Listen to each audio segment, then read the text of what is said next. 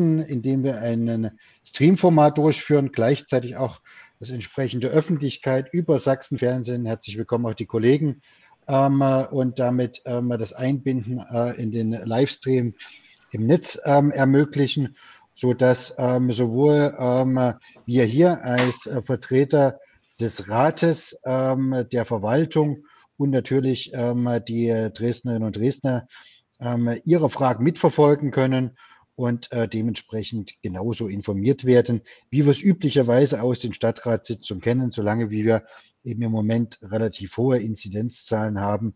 Ähm, der Versuch eines Formates. Ähm, ich freue mich, dass er äh, sich auf dieses Experiment einlässt und hoffe, dass es auch technisch alles so gut funktioniert ähm, und dass wir dann entsprechend einsteigen können. Bevor es so richtig losgeht, ähm, ich habe mich gefreut auf diese Veranstaltung und mit Ihnen das mal zu testen. Muss auch trotzdem schon mal mit einer Entschuldigung beginnen, ähm, äh, dass ich mich dann nach einer gewissen Anfangsphase, werde die ersten paar Fragen mitmachen, damit ich auch sehe, wie es läuft, ähm, dann doch zu Hause zurückziehen muss und ähm, Kollege ähm, erster Bürgermeister Dr., äh, Herr Sittel das dann übernehmen wird weiter. Ähm, weil Sie können sich vorstellen, spätestens seit gestern Abend so die ersten Corona-Verordnungsentwürfe in das Haus flatterten, sind wir ähm, etwas ähm, im Stress unterwegs, wie das, was da drin ist, äh, auf der einen Seite noch in geordnete Bahnen gebracht wird, dass es auch umsetzungsfähig ist. Zum Zweiten, das, was mutmaßlich in der Verordnung ist, dann auch entsprechend vorbereitet werden kann. Und ähm, ich kann Ihnen sagen, ähm, zumindest in Sachsen weit, aber ich glaube auch deutschlandweit sind die Rathäuser im Moment ähm, in äh, ordentlicher Bewegung unterwegs ähm, so dass ähm, äh, wir da jetzt etwas ähm, umsetzen, ähm, was auch dann funktioniert von dem, was jetzt in den Verordnungen ähm, enthalten ist, zumindest in den Entwürfen. Ähm, parallel tagt ja das sächsische Kabinett und dann sind wir gespannt auf das, was tatsächlich aus dem Kabinett an Verordnung, Entwurf in die dann auch Veröffentlichung hineingeht. Ähm, und äh, da die Wirkung ja ab Montag ist, bleibt uns nicht allzu viel Zeit der Umsetzung. Deswegen bitte, äh, sehen Sie es mir nach, ähm, dass ähm, das natürlich auch eine gewisse Priorität im Moment hat und heute auch in tausend Videokonferenzen einen Teil meines Tagesablaufs bestimmt hat. Aber jetzt äh, genug der Vorrede. Wir wollen einsteigen in das, was uns zusammenbringt, nämlich die Fragestunde und ähm, wir beginnen mit der ersten Fragerunde. Heute ähm, Fraktion Die Linke ist die erste, ähm, die äh, jetzt dieses Format testen darf und äh, Frau Dr. Geitsch, wenn ich Sie bitten darf.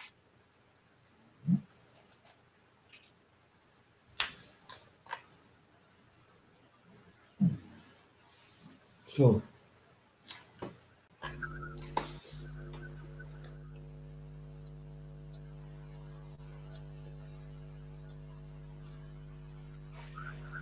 Die Frau Dr. Geitsch ist dabei. Herr Hilbert, die Frau Dr. Geitsch ist noch nicht eingeloggt. Herr ich habe Frau fehlt. Dr. Geitsch gerade am Telefon. Ich versuche okay. sie mal irgendwie reinzukriegen. Okay. Ansonsten wäre ich so frech und würde sagen, dann gebührt der nächsten, nämlich der Frau Frohwieser, das erste Fragerecht. Ähm, und ähm, sie darf dann die, in die Pionierrolle hineingehen. Liebe Frau Frohwieser, bitteschön. Dann tue ich das sehr gern, Herr Hilbert, äh, für jemanden, die hier seit einem Jahr Homeschooling, Homestudying, Homeoffice erlebt, äh, ist das ja nicht so neu, aber ganz herzlichen Dank, dass Sie das auch hier mit uns jetzt äh, heute ausprobieren.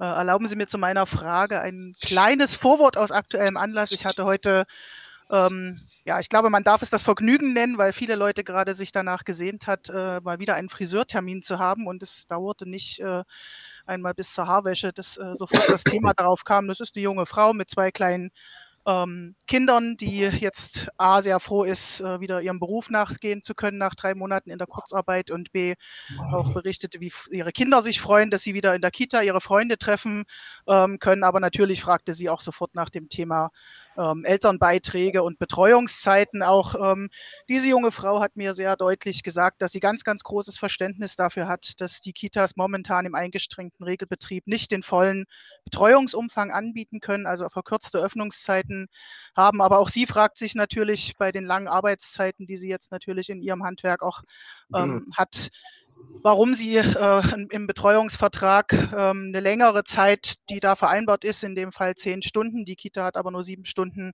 ähm, geöffnet, nicht unkompliziert und unflexibel äh, und, und flexibel ähm, anpassen kann, damit sie eben die äh, Betreuungszeit entsprechend so ähm, geregelt hat und auch bezahlt, wie die Kita geöffnet ist. Ähm, und daher bitte ich um die Beantwortung der Frage, ähm, dieses Thema Anpassung von ähm, Betreuungszeiten in den ähm, Verträgen an die reduzierten Öffnungszeiten in den, im eingeschränkten Regelbetrieb in den Kitas gab es im Frühjahr vergangenen Jahres ja auch schon mal. Da hat die Stadt es äh, auch unbürokratisch möglich gemacht, den Eltern. Jetzt bekommen die Eltern momentan die Auskunft, dass das nur ähm, im Rahmen der Frist, wie es äh, in der Fördersatzung steht, innerhalb eigentlich eines Monats, äh, die Eltern bekommen im Moment die Auskunft frühestens zum 1.4. möglich ist, ähm, warum wir das nicht kurzfristig und unbürokratisch den Eltern auch jetzt wieder ermöglichen können, die Betreuungszeiten entsprechend anzupassen. Und ich würde mir erlauben, die zweite Frage gleich ähm, hinterher zu schieben. Die Alternative, die es dazu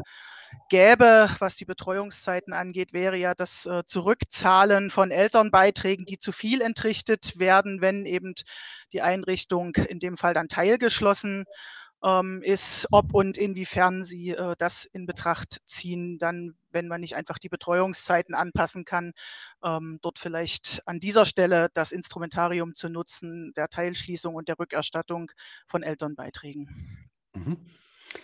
Vielen Dank, Frau Frohwieser, für die Fragestellung. Bestimmt eine wichtige, die viele Dresdnerinnen und Dresdner beschäftigt. Der Bürgermeisterkollege Herr Donhauser wird die Beantwortung übernehmen. Ja, äh, liebe Frau Frohwieser, das mache ich natürlich gern. Und vielleicht vorab, das können wir sicherlich jetzt nie in einer Videokonferenz klären, aber mich würde, das können wir vielleicht nochmal telefonisch besprechen, schon äh, nochmal interessieren, was ist das für eine Kita, eine kommunale oder eine Kita in freier Trägerschaft und vor allen Dingen, wenn es eine kommunaler wäre, würde mich natürlich interessieren, welche das ist, weil ich nach wie vor davon ausgehe, dass eine äh, Regelstundenzeit äh, von neun Stunden, so ist es auch gesetzlich vorgesehen, abgesichert werden kann. Und wenn das so wäre, dass nur sieben Stunden angeboten werden, da würde ich mich nochmal persönlich dahinter klemmen, was dort, wenn es so wäre, der eigentliche Grund ist. Aber zur Frage zunächst erstmal. Die äh, Kinderbetreuung ist im eingeschränkten Regelbetrieb durch die strikte Trennung der Kindergruppen mit fest zugewiesenem pädagogischen Personal wesentlich personalintensiver als die Betreuung im Normalbetrieb. Der sachsenweit geltende Personalschlüssel bemisst sich gleichwohl auch im eingeschränkten Regelbetrieb ausschließlich an den vertraglich vereinbarten Betreuungsstunden. Jede Minimierung der vertraglich vereinbarten Betreuungszeiten durch Eltern schlagt sich insofern direkt mindernd auf das den Einrichtungen zur Verfügung stehende Personalvolumen nieder. Der aktuell laufende Betrieb wurde auf Basis der für die Monate Februar und März 2021 vertraglich gebundenen Betreuungszeiten und den damit korrespondierenden Personalkapazitäten geplant. In der Folge basieren auch die derzeit bereits eingeschränkten Öffnungszeiten auf den laut Betreuungsschlüssel zur Verfügung stehenden Personalkapazitäten. Jegliche kurzfristige Minderung der vertraglich gebundenen Betreuungszeiten führen direkt zu einer noch schmaleren Personalausstattung der jeweiligen Kindertageseinrichtung und können folglich lediglich durch eine noch stärkere Einschränkung der Öffnungszeit kompensiert werden. Mit dem von der Verwaltung praktizierten Verweis der Eltern auf die Regelung der Fördersatzung zur Änderung der vertraglich, äh, vertraglichen Betreuungszeiten sollte der geschilderte Kreislauf abgeschwächt werden. Alle aktuell vorliegenden Betreuungszeitänderungen wären satzungskonform zum 1. April 2021 wirksam, sodass in den Monaten Februar und März keine weiteren Einschränkungen der Öffnungszeiten notwendig sind. Dass sich die Eltern solidarisch zeigen, indem sie ohne Anspruch auf Beitragserstattung ihre Kinder zu Hause betreuen oder für eine geringere Stundenzahl in die Kita geben, nehmen wir auch in den Dresdner Kindertageseinrichtungen wahr. Wir sind sehr dankbar für dieses Entgegenkommen. Es unterstützt uns in unserem Bemühen, die Kitas und Horte täglich so lange wie möglich offen zu halten. Zur zweiten Frage. Die zitierten Regelungen, Paragraph 8 Absatz 5 der Elternbeitragssatzung sind nach Einschätzung der Verwaltung, wie gesagt Einschätzung der Verwaltung, auf die verkürzten Öffnungszeiten nicht anwendbar. Dies insbesondere, weil die Rückerstattungsregelung nur dann zur Anwendung gelangt, wenn die Kindertageseinrichtungen mindestens einen Tag geschlossen haben. Dafür, dafür spricht vor allem die Formulierung im zweiten Absatz der Elternbeitragssatzung. Ich lasse das jetzt mal alles weg, äh, was da drin steht. Es ist äh, doch eher unüblich, dass Kindergartenkinder äh, innerhalb eines Tages verschiedene Einrichtungen besuchen. Das ist der Absatz, wo darauf abgehoben wird, wenn man diese Variante in Betracht ziehen würde, äh, es einen Rückzahlungsgrund gibt. Die Regelung legt daher nahe, dass die Betreuungsmöglichkeiten mindestens für einen ganzen Tag infolge der Gründe in Absatz 3, Paragraph 3 geregelten äh, äh, Formulierung entfallen sein muss. Das sind die, um das vielleicht nochmal der Öffentlichkeit auch zu sagen, wenn zum Beispiel eine Kita bei Streik äh, geschlossen bleibt oder wenn eine Kita geschlossen bleibt, wenn Havarien oder sonstiges eingetreten sind. So, und vielleicht nochmal grundsätzlich dazu. Es gibt ja jetzt einen Antrag, äh, der in den Gremien behandelt wird, wo sich äh, genau mit der Thematik der Ausschuss äh, für Bildung bzw. Betriebsausschuss Kita und abschließend der Stadtrat beschäftigen wird. Dort werden wir uns die Sachen nochmal ganz genau anschauen, abwägen, äh, weil in der Tat hat natürlich Frau Frohwieser recht, dass wir im Frühjahr vergangenen Jahres da äh, äh, rangegangen sind. Eine Erwägung spielte jedoch, und das wollen wir schon nochmal im Ausschuss auch thematisieren, dass ja der Stadtrat per Beschluss zum Haushalt 2021-22 festgelegt hat, dass die Elternbeiträge nicht steigen in Dresden und äh, somit mit äh, über 10 Millionen Euro nicht belastet worden sind und wir daher der Auffassung waren, dass wir also vom 15. Februar bis 31. März äh, so vorgehen können. Wenn wir in dem Ausschuss zu einer anderen Auffassung kommen, beziehungsweise wenn der Stadtrat mehrheitlich diesem Antrag folgen würde, wäre man selbstverständlich rückwirkend die zu viel gezahlten Beiträge zurückzahlen. So viel vielleicht. Herzlichen Dank dafür. Wenn Sie mir noch eine Nachfrage erlauben äh, ja. würden. Äh, die Eltern, äh, die sich gemeldet haben, das ist bunt gemischt. Das sind Eltern aus äh, freien Kitas, aber auch aus Eigenbetriebskitas. Und die Öffnungszeiten, die die angeben, wenn sie sich äh, melden, sind zwischen sieben und neun ähm, Stunden. Aber das kann ich Ihnen nochmal konkret äh, zuarbeiten, um welche konkreten Einrichtungen es sich handelt. Aber ähm, Sie sprachen jetzt gerade auch nochmal von dem äh, bis 31. März. Können Sie zumindest noch ähm, erklären, gerne auch nachgereicht. In der Fördersatzung steht ja, dass die Betreuungszeiten binnen eines Monats angepasst werden, warum sie dann nicht wenigstens zum 15. März, am 15. Februar haben die Einrichtungen wieder geöffnet, angepasst werden können? Also reiche ich gerne nochmal äh, schriftlich nach, so wie ich äh, es dargelegt bekommen habe, wird aus der Satzung so herausgelesen, dass das Anzeigen der Verminderung der Betreuungszeit immer nur zum ersten bis zum Wirksamwerden dann zum nächsten ersten gemacht werden kann. Aber das können wir uns auch nochmal ganz genau anschauen und reiche ich nach. Okay, soweit erstmal zur ersten Frage und zur Antwort. Ich frage jetzt nochmal hinein, ist Frau Dr. Geitsch jetzt ähm, im, dabei? Nein, wir ringen noch mit der Technik. Vielleicht kann Herr Faust mal helfen. Ich würde ihm mal die Nummer geben. Okay, das klären. Sie äh, bilateral, ähm, nie hier im Stream, sondern wir nehmen jetzt den zu Rate, gerade gerückten Herrn Blödner als nächsten ähm, mit seiner Frage. Bitte schön für die FDP. Ja, vielen Dank, sehr geehrter Oberbürgermeister. Meine Frage beschäftigt sich äh, mit dem künftigen Impfgeschehen gegen das Coronavirus. Vergangene Woche, am Dienstag, dem 23. Februar, kam das Dresdner Impfzentrum erstmals an seine Kapazitätsgrenze, als etwas über 1000 Impfdosen an einem Tag verimpft wurden. Bisher werden ja so regulär ca. 500 Impfdosen am Tag verabreicht, da bisher einfach äh, noch nicht genügend Impfstoff zur Verfügung steht. Laut einer aktuellen Übersicht des Bundesgesundheitsministeriums erhält die Bundesrepublik Deutschland im zweiten Quartal 77 Millionen Impfdosen. Damit könnten allein in den Monaten April, Mai, Juni auf Dresden runtergebrochen 260.000 Menschen äh, von Anfang April bis Ende Juni beide Impfdosen erhalten. Einschließlich der Wochenenden müssten dann in diesem Zeitraum somit täglich knapp 5800 Impfdosen verabreicht werden, was einer deutlichen Steigerung gegenüber dem aktuellen Impfgeschehen entspricht. Mir ist durchaus bewusst, dass zuerst das Land da in Verantwortung ist, äh, aber auch mediale Berichte aus anderen Kommunen, beispielsweise Krefeld, zeigen ja, dass dort äh, Kommunen unterstützend ähm, tätig sind und dadurch schneller verimpft werden konnte. Es zählt ja bei den Impfungen jeder Tag und die, äh, entsprechend je schneller geimpft wird, desto positiver sind die Auswirkungen auf Inzidenz und damit die Lockdown-Maßnahmen. Daher meine Fragen. Wie will die Stadt die anstehende Steigerung der täglichen Impfungen um mehr als das Fünffache in den nächsten drei Monaten, äh, April, Mai, Juni und gegebenenfalls darüber hinaus abwickeln? Inwieweit organisiert die Stadt zusätzliche Möglichkeiten, da das Land offensichtlich nicht ausreichend Kapazitäten bereitstellt? Ja, auch hier vielen Dank für die Frage, die äh, unsere Sozialbürgermeisterin Frau Dr. Kaufmann beantworten wird. Ja, vielen Dank, Herr Stadtrat Blödner, für Ihre Frage. Hören Sie mich in der Runde? Ja, sehr gut. Gut, danke schön. Also aktuell werden um die 1000 Impfungen in Dresden vorgenommen. Ähm, die Kapazitäten in der Messe reichen für bis zu 4000 Dosen am Tag. Das Thema des Impfens, ähm, Herr Blödner, indes ist zentral seitens des Freistaates für die kommunale Ebene geregelt und damit sind auch ausschließlich nach Beauftragung des Freistaates das Deutsche Rote Kreuz und die Kassenärztliche Vereinigung in Sachsen für die Impfungen verantwortlich und tätig. Dennoch unterstützt die Landeshauptstadt Dresden natürlich bei der Standortsuche die sehr schnell auf die räumlich sehr gut gelegene, gut erschlossene und auch nahverkehrlich gut angebundene Messe Dresden fiel.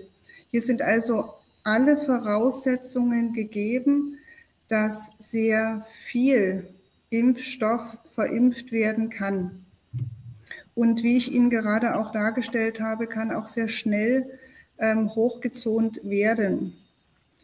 Um hier zügig die notwendigen personellen Ressourcen zu bekommen, stehen wir auch im Austausch mit allen Partnerinnen und Partnern, so auch dem Land und haben hier sehr deutlich und wiederholt unsere Erwartungshaltungen kommuniziert. Es steht daher zu erwarten, dass sich die aktuelle Verteilung des Impfstoffes in den nächsten Tagen verbessern wird und wir nicht mehr zentral auf ähm, die Messe angewiesen sind, sondern wie gestern auch die STIKO, die Ständische Impfkommission des Bundes herausgearbeitet hat, der Impfstoff AstraZeneca für die über 65-Jährigen baldig ähm, zur Verfügung steht und dieser kann, weil er nicht ähm, sehr intensiv gekühlt werden muss, dann auch durch die entsprechenden Hausärzte in der Stadt verimpft werden. Darüber hinaus wird mit dem Impfzentrum Dresden eng abgestimmt, wie der Einsatz der mobilen Impfteams nach Abschluss ähm, der Impfserien in Alten- und Pflegeheimen gesteuert wird. Hier sind insbesondere Wohnführungen für Seniorinnen und Senioren, aber natürlich auch die Einrichtungen der Eingliederungshilfe, der Wohnungsnotfallhilfe als auch die Asylunterkünfte ähm, zu benennen.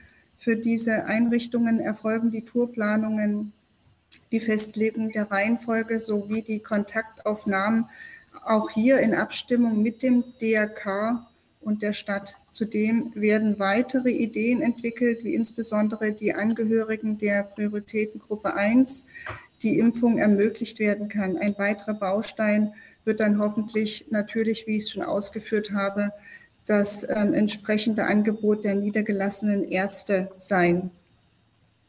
Insgesamt hat damit die Landeshauptstadt Dresden im Themenfeld Impfen ausschließlich eine koordinierende und beratende Funktion.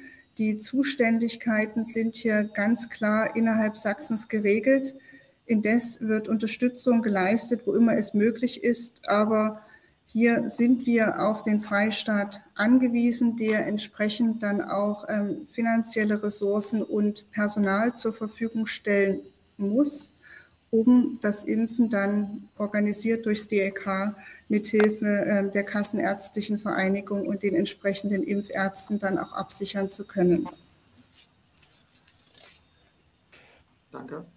Vielen Dank, Frau Dr. Kaufmann. Und vielleicht noch eine Ergänzung. Natürlich denken wir darüber hinaus ähm, äh, auch wenn wir nicht zuständig sind, ähm, wie können wir, wenn genügend Impfstoff zur Verfügung steht ähm, und die Prioritätengruppen geöffnet werden, ähm, das weiter logistisch unterstützen, gerade was die mobilen ähm, Teams angeht, auch ähm, Betriebsärzte etc. mit einbinden. Wir sind ja mit den großen Arbeitgebern im Gespräch, dass wir hintereinander weg, auch um eine hohe Impfdurchdringung äh, zu bekommen, da entsprechende Angebote machen. Aber im Moment sind das alles vorauseilende Gedanken, die wir uns machen, die aber derzeit noch nicht umsetzungsfähig sind. Nicht, weil wir es nicht wollen und nicht können, sondern weil wir es noch nicht ähm, dürfen.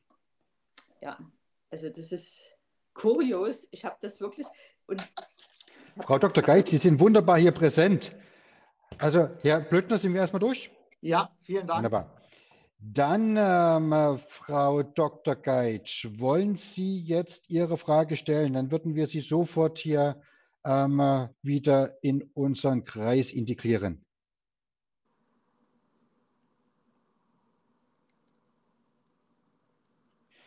Jetzt habe ich sie wieder verkrault. Dann machen wir weiter mit Frau, nee, mit Herrn Genschmer als nächsten Fragenden.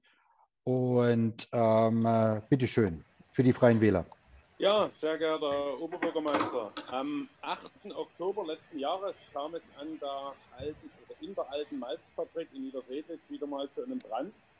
Als Ergebnis wurde die Reichsstraße in Niedersedlitz als wichtige Verbindungsstraße gesperrt. Äh, diese Sperrung ist noch heute aktuell. Und dazu meine Frage, was waren die Gründe der Sperrung und wie lang oder wann wird diese Sperrung wieder aufgehoben? Mhm. Hier übernimmt ähm, Herr Bürgermeister Kühn die Beantwortung und ich würde mich mal entschuldigen und Herrn Sittel äh, bitten, dann die weitere Leitung ähm, übernehmen. Gut, dann würde ich beantworten. Ja, sehr geehrter Herr ähm, Genschmar, äh, Sie haben das äh, zutreffend beschrieben, das Brandereignis am 8. Oktober. Aufgrund des äh, Brandereignisses ähm, innerhalb des äh, äh, Bereiches, der jetzt abgesperrt ist, stellte das Bauaufsichtsamt eine Gefahr für Leib und Leben fest.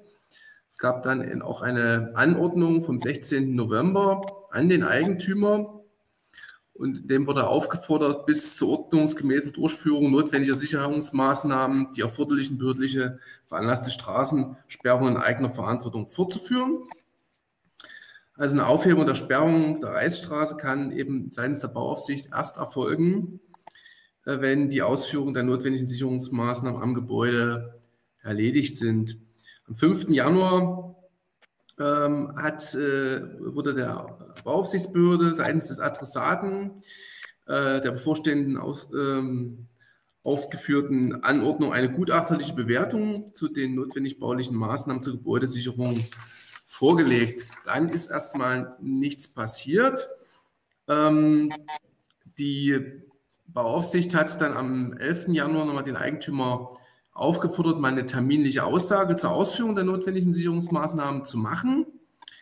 Äh, am 19. Januar wurde dann die äh, Bauaufsichtsbehörde telefonisch in Kenntnis gesetzt, dass äh, aufgrund der Krankheit äh, des Eigentümers bis dato keine Maßnahmen zur Gebäudegesicherung veranlasst werden konnten. Ähm, das hat also der Rechtsanwalt, des, äh, der vollmächtigte Rechtsanwalt ausgeführt. Mit einer Mail vom 4. Februar wurde die Bauaufsichtsbehörde äh, von dem besagten Rechtsanwalt nochmal informiert, dass aufgrund einer fort, der fortdauernden äh, Krankheit des Mandanten die notwendigen Sicherungsmaßnahmen nicht beauftragt werden konnten.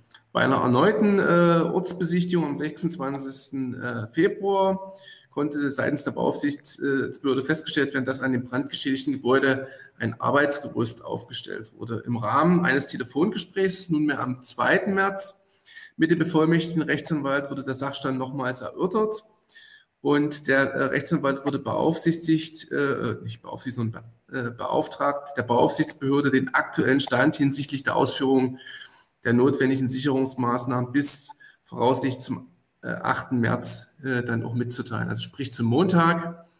Ähm, es gibt also leider keinen äh, neuen Sachstand als den, den ich Ihnen schon mal mitteilen musste. sobald sich ein neuer Sachstand ergibt, beispielsweise aus, dem, aus der Frist, die am Montag abläuft, würde ich Sie in Kenntnis setzen. Da würde ich mich schon im Vorhinein sehr herzlich bedanken. Wir hatten ja, oder ich hatte bei Ihnen ja kurzfristig schon letztes Jahr eine Anfrage gemacht. Da nochmal ein herzliches Dank, da war umgehend eine Antwort gekommen. Jetzt ist es wieder zwei Monate weiter und wir sollten dort schon einen gewissen Druck äh, hervorrufen, weil der Verkehr sich jetzt auf die Bismarckstraße, Bahnhofstraße sehr konzentriert, dort zu Verkehrsproblemen führt und wir den Eigentümer dort schon einen gewissen Druck ausüben oder aussetzen sollten, damit diese Sperrung aufgehoben werden kann. Und wenn Sie uns dann oder mich dann informieren würden, was am Montag rauskommt, wäre das schon sehr hilfreich. Ja, also ich würde genau mich zeitnah bei Ihnen zurückmelden und auch noch bei der Bauaufsichtsbehörde nochmal fragen, welche Druckmittel äh, wir gegebenenfalls haben. Aber ich sage mal, die sind wahrscheinlich auch ein Stück weit begrenzt. Aber ja, ich setze Sie in Kenntnis. Ich denke, das ist in der Tat sehr ärgerlich. Ähm, das Brandereignis ist ja in der Tat schon einige Monate zurück und offensichtlich ist durch den Eigentümer eben bis auf das besagte Arbeitsgerüst äh, eben noch nichts passiert. Recht schönen Dank. Gut. Vielen Dank für Frage und äh, Beantwortung. Wir starten nochmal einen Versuch. Frau Dr. Geitsch, klappt es bei Ihnen mit der Tonstrecke jetzt? Ich hoffe, dass es klappt. Bin Sehr gut. Dann heiße ich Sie willkommen und darf Sie gerne einladen, Ihre Frage zu stellen. Bitte ja. schön. Äh, es geht um Ordnung und Sauberkeit, weil von 2020 bis 2022 gibt es einen Vertrag der Stadt mit der Veolia, die die Entsorgung der gelben Tonne bzw. der gelben Säcke damit verpflichtet hat. Die Entleerung erfolgt seitdem häufig nicht regelmäßig, was zur Verschmutzung und natürlich zur Verärgerung der, der Verschmutzung der Standorte und natürlich damit zur Verärgerung der Einwohnerinnen führt. Dazu meine Frage. Welche Möglichkeiten hat die Stadtverwaltung, diesem Missstand entgegenzuwirken? Ist die, und ist die Veolia auch für die Reinigung vermüllter Standorte verantwortlich? wenn diese sichtbar aus nicht sachgemäßer, turnusgemäßiger Leerung der gelben Tonne zurückgeführt werden muss. Äh, gleichzeitig gibt es noch äh, eine Frage bei, der gelben, bei den gelben Säcken, die bei starkem Wind, die werden ja einfach vor den Häusern abgestellt, bei starkem Wind durch die Gegend fliegen, kaputt gehen. Äh, gibt es dort eine Möglichkeit, mit der Veolia eine Vereinbarung zu treffen, dass äh, besser gesichert abzuholen. Mhm. Gut, vielen Dank. Dann Frau Kollegin Jeningen, bitte die Beantwortung. Sehr geehrte Frau, Frau Stadträtin Dr. Geitsch, danke für Ihre Frage. Auch ich halte das für einen Missstand, die Situation im Moment. Allerdings, das muss ich erstmal vorausschicken, sind wir nicht die Auftraggeber dieses Vertrags mit Veolia. Das Verpackungsgesetz der Bundesrepublik verpflichtet die dualen Systeme, das ist ein Konsortium aus den Unternehmen der Verpackungsindustrie, der grüne Punkt, selber gebrauchte Verkaufsverpackungen aus Papier, Pappe, Kartonagen und Glas sowie Leichtverpackung zu sammeln und einer Wiederverwertung zuzuführen. Und dadurch schließen die für die Entsorgung der gelben Tonne oder der gelben Säcke selbstständig im Wettbewerb ermittelte Verträge mit Entsorgungsfirmen. Früher hatte die Stadtreinigung mal so eine Ausschreibung gewonnen und hat das entsorgt. Aber auch da waren wir nicht selber als Stadtverwaltung Auftragnehmer. Wir haben mit dem DSD eine Zusammenarbeit in Bezug auf die äh, Sammlung von Pappe und Papier über die Wertstoffcontainer und natürlich von Glas, also Flaschen und Gläser. Aber die gelbe Tonne, der gelbe Sack, je nachdem, äh, wie die Versorgung stattfindet im Stadtgebiet, wird dort unmittelbar beauftragt. Wir haben also auch keine Möglichkeit im Fall einer mangelhaften Leistungserbringung in die Verträge äh, einzugreifen oder irgendwelche Rechte geltend zu machen. Das hat nur unmittelbar die Reklei Systems äh, GmbH, die hier vor Ort das duale System vertritt. Und wir kooperieren eben nur für die anderen Entsorgungen über diese Abstimmungsvereinbarung, die Sie ja im Umweltausschuss kennen. Nun ist leider bei uns auch, also auf meiner Beschwerdeliste dieses Thema äh, Nummer eins. Zahlreiche Einwohnerinnen und Einwohner haben sich bei uns beschwert, weil äh, ihre Beschwerden gegenüber DSD nicht zum Erfolg geführt haben. Dazu hat es mehrfach Gespräche zwischen den Kolleginnen und Kollegen des Amtes für Abfallwirtschaft und Stadtgrün und der Firma gegeben. auch Briefwechsel mit mir. Wir beantworten auch jeden Bürgerbrief. Und äh, wir hatten den Eindruck, dass das über das übliche Maß an Anlaufproblemen hinweggeht. Es ist etwas besser geworden, aber die Probleme sind nicht abgestellt. Ich lasse jetzt mal die Phase, als wir wirklich einen harten Wintereinbruch hatten, ein bisschen raus, aber äh, insgesamt ist das unser Eindruck. Ende Januar hat das Amt nochmal Veolia aufgefordert, Maßnahmen darzustellen, welche die Mängel zukünftig ausschließen und auch eben den Bürgerinnen und Bürgern eine Kontaktmöglichkeit zu bieten.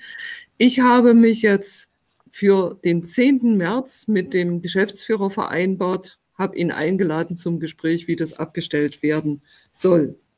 Und ich würde Ihnen dann im Umweltausschuss gern von den Ergebnissen berichten. Zur zweiten Frage.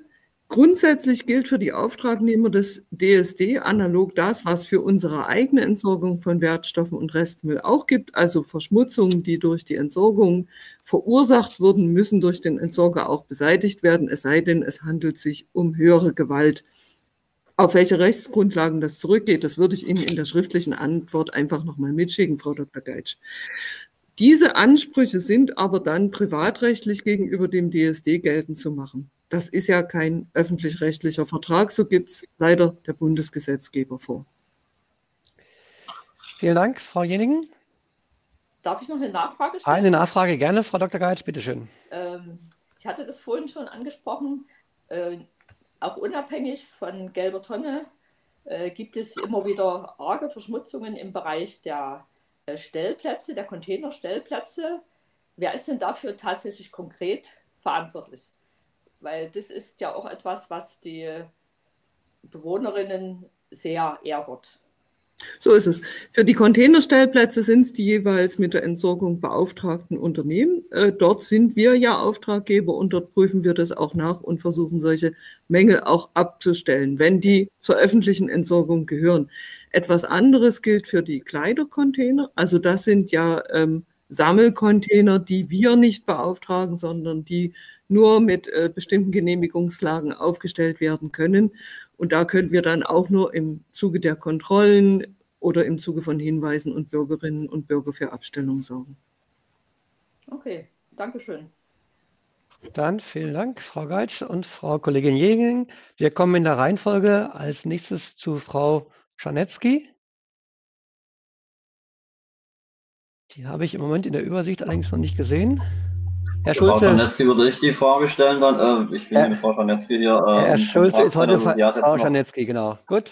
Herzlich willkommen. Sie genau, haben das Wort. Also Sie lässt sich leider entschuldigen, dann äh, hätte es gerne selber gemacht, äh, die Fragestellung jetzt, äh, die Fragestunde mit äh, teilgenommen, aber es ist manchmal beruflich nicht ganz einfach, äh, immer so miteinander zu koordinieren.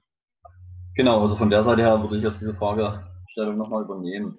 Bitte Wir sehr. Haben ja, äh, genau, sehr geehrter Herr Bürgermeister dann äh, wie bekannt ist dann, ist ja seit äh, 15. Februar sowohl die Kitas als auch äh, die Schulen dann, Grundschulen dann auch im eingeschränkten Regelbetrieb äh, wieder geöffnet. Und äh, ja, es gibt ja sozusagen auch wirklich in der Elternschaft dann so viel Irritation dann oder Nachfragen dann. Darauf bezieht sich dann nochmal unsere Nachfrage auch dann und würde Sie bitten, dann insgesamt äh, dieses Infektionsschutzkonzept nach dieser Wiedereröffnung der Kitas und Horte im eingeschränkten Regelbetrieb und der Grundschulen sowie für das absehbare Wiedereröffnung der weiterführenden Schulen zu erläutern und wie dieses mit dem Gesundheitsamt abgestimmt wurde. Insbesondere die Frage der Infrastruktur und der Umsetzung der Tests für Kinder und Mitarbeiterinnen und auch der Lüftung sind davon dabei von Interesse. Denn vielleicht können Sie auch gleich noch äh, mit äh, erläutern, wie jetzt auch ab 8. März, also sprich äh, ab Montag kommende Woche, dann auch äh, eine Anpassung stattfindet. Äh, wir haben ja seit gestern die neue Verordnung äh, des Freistaates auch nochmal, ja, das ist sozusagen eine Ankündigung bekommen. Und vielleicht können Sie das auch gleich noch mit einbauen, wenn das möglich ist. Dann, ich weiß nicht, ob das in kurzer Zeit möglich gewesen ist, schon da was zu erarbeiten. Genau, aber soweit erstmal die Frage. Vielen Dank, Herr Schulze, für die vertretungsweise vorgetragene Frage. Herr Kollege Donhauser übernimmt die Beantwortung. Bitte schön. Ja, vielen Dank für die Frage. Äh, lieber Thorsten Schulze, äh, vielleicht vorweg gesetzt, die Schulen, äh, die weiterführenden Schulen äh, öffnen am 15. März im eingeschränkten Regelbetrieb, noch nicht Montag. und wir sitzen ebenfalls im Schulverwaltungsamt bzw. Äh, Amt für äh, Kindertagesstätten, Eigenbetrieb, Kita seit heute früh und erwarten, was denn nun wirklich in der Verordnung drinstehen wird, um dann äh, ausgehend davon 15. März äh, entsprechend auch an den Start zu gehen und vielleicht auch noch von weggenommen. Äh, dazu wird sicherlich auch hilfreich sein, der gestern Abend mit Mehrheit, oh, mit Mehrheit beschlossene interfraktionelle Antrag, der ja einige äh, Schwerpunkte nochmal äh, geschärft bzw. neu aufgegriffen hat. Obgleich ich auch davon ausgehe, wenn es so wie angekündigt eine Testpflicht für die Schüler gibt, dass diese Tests auch dann entsprechend vom Freistaat Sachsen äh, zur Verfügung gestellt wird und wir natürlich in der Pflicht sind, äh, abzusichern, was die ganze äh, logistische Durchführung der Tests angeht. Zum aktuellen Stand äh, kann ich versichern, was die kommunal betriebenen Kitas und Horte angeht, dass der Eigenbetrieb Kindertageseinrichtungen bisher alle erforderlichen Arbeits- und Gesundheitsschutzmaßnahmen auch jetzt im eingeschränkten Regelbetrieb konsequent umsetzt. Da kann man sich sicherlich immer äh, noch darüber unterhalten, ob das ausreichend ist oder nicht. Aber Fakt ist, und das hatten wir ja auch schon mal äh, im Ausschuss äh, kommuniziert, dass gerade der Eigenbetrieb Kita äh, vorbildlich schon seit äh, vergangenem Jahr, ab 1. Dezember, eine Schutzkonzeption hat äh, für die Mitarbeiterinnen und Mitarbeiter, beziehungsweise dann natürlich in Umsetzung auch für die äh, Kinder. Und um das auch von wegzunehmen, selbstverständlich ist dieses Konzept auch äh, mit dem Gesundheitsamt abgestimmt. Seit Beginn der Corona-Pandemie im März 2020, also vor einem Jahr werden die pädagogischen Fachkräfte in Kitas und Horten fortlaufend durch betriebliche Festlegung und Handlungsanweisungen zum Arbeits- und Infektionsschutz unterwiesen und zu den aktuell gültigen Schutzmaßnahmen äh, gemäß der äh, SARS-CoV-2-Arbeitsschutzverordnung sowie der sächsischen Corona-Schutzverordnung belehrt, insbesondere zu den Abstands-, Hygiene- und Lüftungsregeln. Die Tätigkeiten in der Kindertagesbetreuung unterliegen unabhängig der Corona-Pandemie der Biostoffverordnung und den technischen Regeln der Biostoffverordnung. Diese schreiben zwingend besondere Hygiene- und Desinfektionsregeln gemäß dem Rahmenhygieneplan und so weiter vor und sind durch jeden Beschäftigten in den Kindertageseinrichtungen anzuwenden. Zusätzlich sind alle Hygienepläne angepasst und aktualisiert worden um die Festlegung zum Tragen von Schutzmasken umsetzen zu können, wurden alle Kindertageseinrichtungen mit medizinischen OP bzw. FFP2-Masken sowie Gesichtsvisieren ausgestattet. Seit 1. Dezember hatte ich schon gesagt, arbeitet der Eigenbetrieb mit einer eigenen äh, Testkonzeption. Äh, diese ist mit dem, wie gesagt, Gesundheitsamt abgestimmt. Ziel ist es, Infektionsketten innerhalb der Einrichtungen nachvollziehen und zu unterbrechen können. Seit 1. Februar 2021 wird für die Testung ein, ein eigenes Testteam bestehend aus Krankenschwestern, Arzthelfern und RettungssanitätInnen eingesetzt. Ab 15. März wissen wir auch alle, dank der Unterstützung des Freistaates Sachsen werden auch alle Erzieherinnen und Erzieher oder können die Möglichkeit nutzen, einen äh, Schnelltest in der Woche kostenlos durchgeführt zu bekommen. Seit 25. Februar 2021 können die pädagogischen Fachkräfte darüber hinaus äh, das Impfangebot äh, nutzen, was sicherlich auch nochmal ein weiterer wichtiger Schritt ist. Äh, ergänzend sei angemerkt, das gilt auch für die Grundschullehrerinnen und Grundschullehrer. Und äh, äh, der Freistaat ist ja insbesondere dabei, sich dafür einzusetzen, dass auch die Lehrkräfte in den weiterführenden Schularten oder in den berufsbildenden Schulen davon äh, partizipieren können. Für die Betreuung der Kinder orientieren sich die kommunalen Kitas und Horte an den Handlungsempfehlungen des Freistaates sowie an den Empfehlungen des Netzwerkes Kinderpädagogische Studiengänge in Sachsen zur Wiederaufnahme des Betriebs in Kindertageseinrichtungen aus pädagogischen und aus pädagogischer und entwicklungspsychologischer Perspektive. Die Kinder, das würde ich jetzt nie weiter ausführen, werden in festen äh, äh, Gruppen äh, betreut mit gleichbleibendem Personal. Das war die, äh, der Sachverhalt, den er gerade nochmal im Zusammenhang auch mit den Betreuungsverträgen erläutert hat. Übrigens ist das analog äh, in der Grundschule, wie dort äh, Kinder in festen Klassenverbänden betreut werden.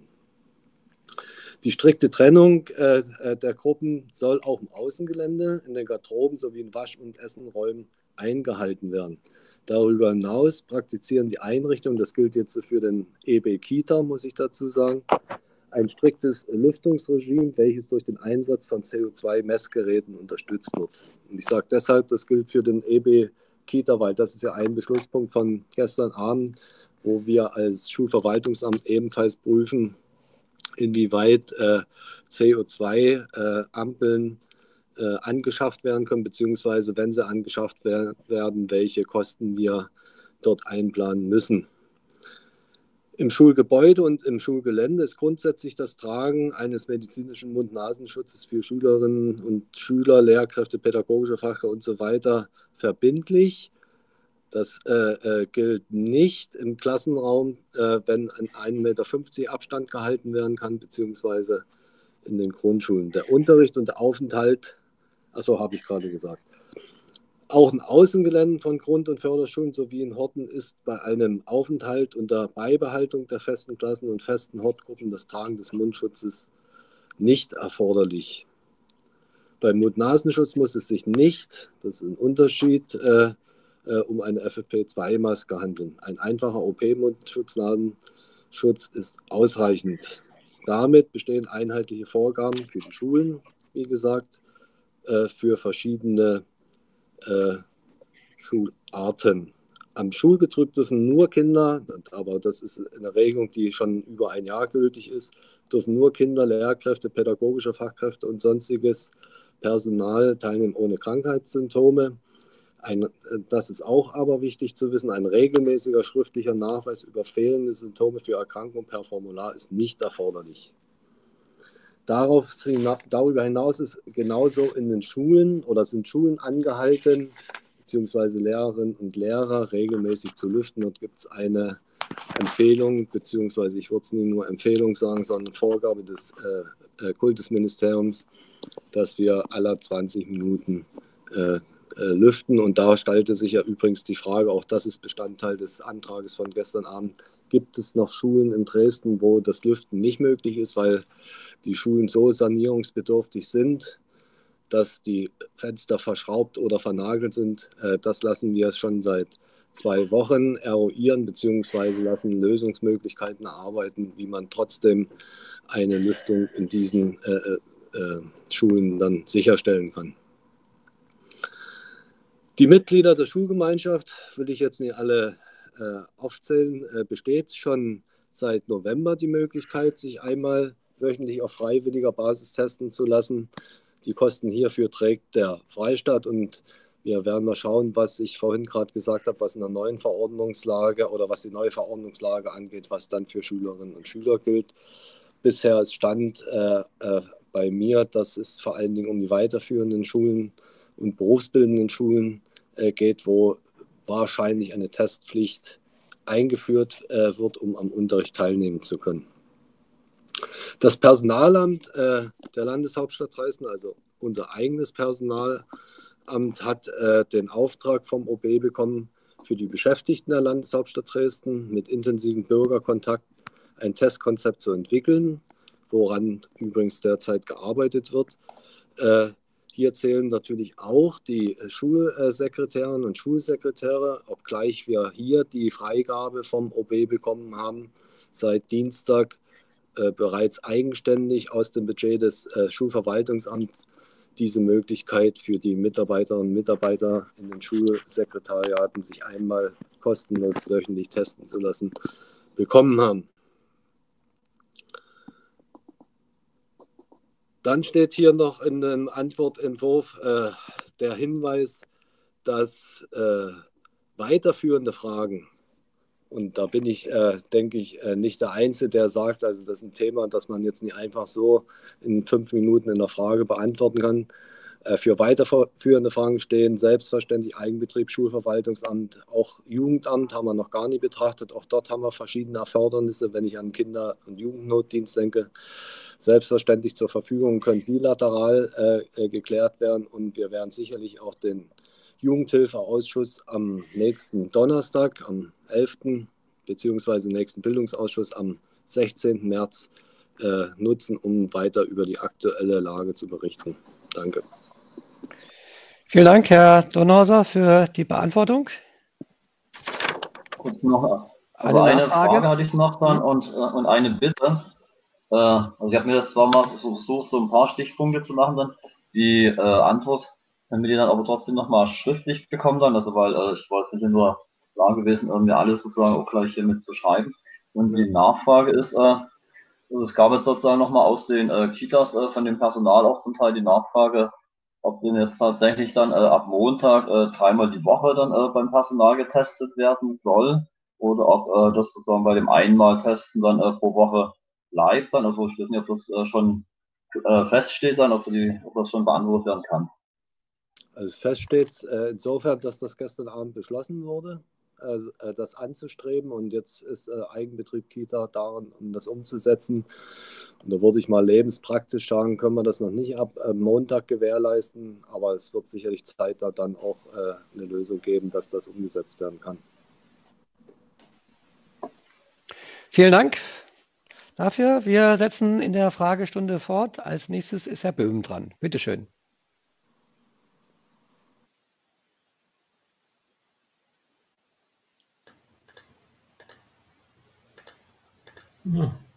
Ja, der Herr Kaden wollte eigentlich vor mir seine Frage stellen. Wenn es möglich ist, würde ich Ihnen. Wir, wir können die Dann auch. Würde ich, würde ich einfach reinspringen. Vielen wir Dank. Wir können die auch tauschen. Okay, bitteschön, ja. Dann tauschen wir das. Ähm, ja, meine Frage, sehr geehrter Herr erster Bürgermeister, ähm, zielt auf einen Beschluss ab, den wir im Juli letzten Jahres gemeinsam getroffen haben im Dresdner Stadtrat. Und zwar haben wir dort beschlossen, dass wir infolge von Corona den in Not geratenen Dresdner Veranstaltern der Kultur- und Tourismuswirtschaft und auch der Freizeitwirtschaft, der Gastronomie und auch dem Einzelhandel äh, ein Stück weit unter die Arme greifen, indem wir öffentliche Räume für Veranstaltungen und auch für entsprechende Events äh, etwas unbürokratischer zur Verfügung stellen und eben insbesondere auf die Erhebung von Gebühren, insbesondere auf die äh, Sondernutzungsgebühren verzichten. Und ähm, die Regelung, die wir beschlossen haben, äh, soll gelten oder wird oder soll gelten bis Ende diesen Jahres zunächst. Und ähm, jetzt bin ich von einer ganzen Reihe von Veranstaltern angesprochen worden, die mir also gesagt haben, es sind seitdem trotz des Beschlusses des Rates eine ganze Reihe von Gebührenbescheiden verschickt worden. Und ein, eine Anfrage eines Stadtratskollegen untermauert es auch nochmal. Da wird also seitens der Stadtverwaltung in der Beantwortung der Fragestellung äh, geantwortet, dass der Beschluss vom 16. Juli zwar eine, äh, einen Auftrag an die Stadtverwaltung in den Punkten 1 und 2 enthält, diese Gebühren nicht zu erheben. Ähm, gleichwohl, und jetzt zitiere ich, auf den Beschluss, auf Basis dieses Beschlusses konnten wir jedoch keine Gebührenbefreiung erteilen. Hierzu hätte es vielmehr einer Änderung der Satzung der Landeshauptstadt Dresden über die Erlaubnisse und Gebühren für Sondernutzung der öffentlichen Straßen in Dresden bedurft, wozu es nicht gekommen ist. Daraus ergibt sich für mich jetzt äh, die Frage, warum hat es bisher dann keine äh, Satzungsvorlage gegeben zur Änderung der Gebührensatzung, weil das wäre ja dann in der Folge eine Vorlage der Stadtverwaltung gewesen, wo man dem Beschluss des Rates äh, gefolgt wäre. Selbst wenn dieser Beschluss interpretationsfähig gewesen wäre, hätte man ja eine entsprechende Vorlage erarbeiten können. Wir als Stadtrat hätten uns dann natürlich an dieser Vorlage abarbeiten können. Aber ohne diese Vorlage scheint ja offensichtlich der Wille des Stadtrats nicht umzusetzen sein. Deshalb bitte ich äh, um Beantwortung, warum diese äh, Vorlage zur Änderung der Gebührensatzung doch nicht da ist. Und anschließend gleich meine Nachfrage, wie gehen wir denn jetzt mit diesem etwas schwierigen Fall um? damit wir eigentlich dem Ansinnen des Rates hier zu helfen, doch noch zum Erfolg verhelfen können. Vielen Dank für die Frage. Die Beantwortung übernimmt Herr Kollege Kühn. Bitte schön. Ja, vielen Dank, Herr Kollege Sittel, äh, sehr geehrter Herr Kaden. Ähm, ich habe mir den äh, Vorgang äh, auch mal genauer jetzt angeguckt. Das ist ja ein Stadtratsbeschluss, der getroffen wurde, wo ich noch nicht im Amt war, wo die Stellungnahme zu dem Antrag Federführung seinerzeit von der Wirtschaftsförderung ähm, gekommen ist, wo auch mein Geschäftsbereich schon Hinweise ähm, übermittelt hat und die Umsetzung zunächst auch federführend äh, von der Wirtschaftsförderung bearbeitet wurde.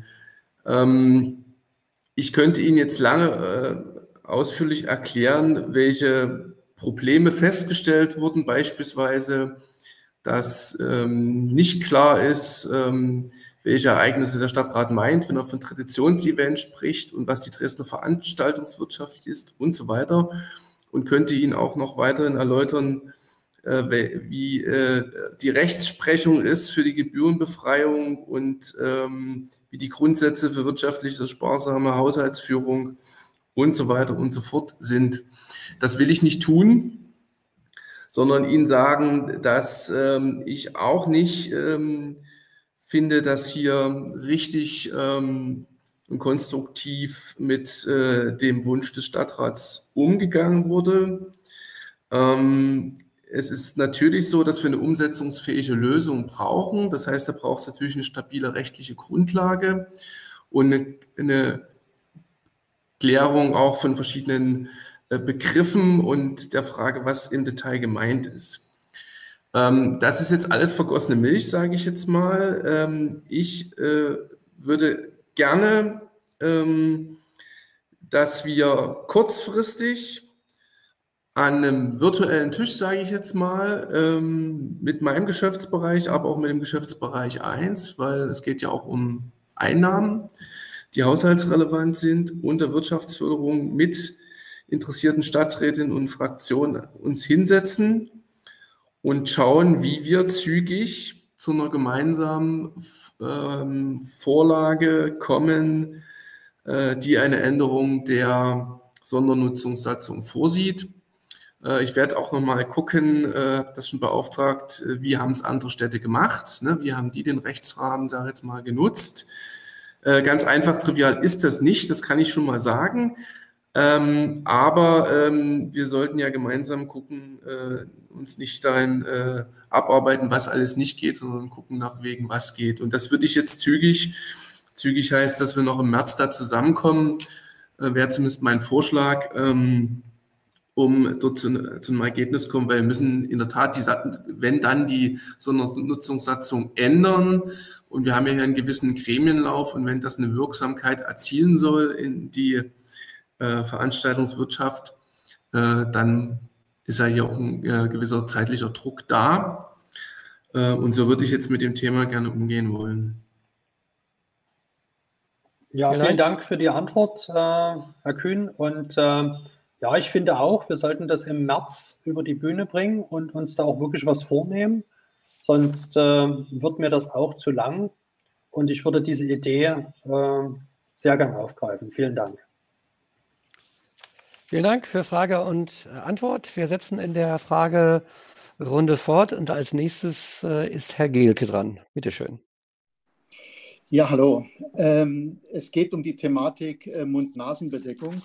Äh, wenn wir den Anfang der Corona-Pandemie mal sehen, wo es keine Mund-Nasen-Bedeckung gab, äh, da war das überhaupt kein Problem. Das brauchte man dann nicht. Äh, dann kam es auf einmal auf, dass man doch Mund und Nase abdecken sollte. Da war dann ein einfaches Tuch machbar. Dann kam im September letzten Jahres die Strafe äh, dazu. Auf einmal funktionierte es oder, oder besser, die Leute haben es dann mehr und mehr angenommen. Einfach nicht, weil sie der Meinung waren, es war, sie sind es gute, eine gute Sache sondern sie haben es gemacht, weil sie einfach der Strafe entgehen wollten. Das wurde dann nochmal verschärft, indem die Mund-Nasen-Bedeckung äh, streckenweise auch draußen getragen werden muss. Äh, mittlerweile gibt es auch definierte äh, Masken, die getragen werden müssen.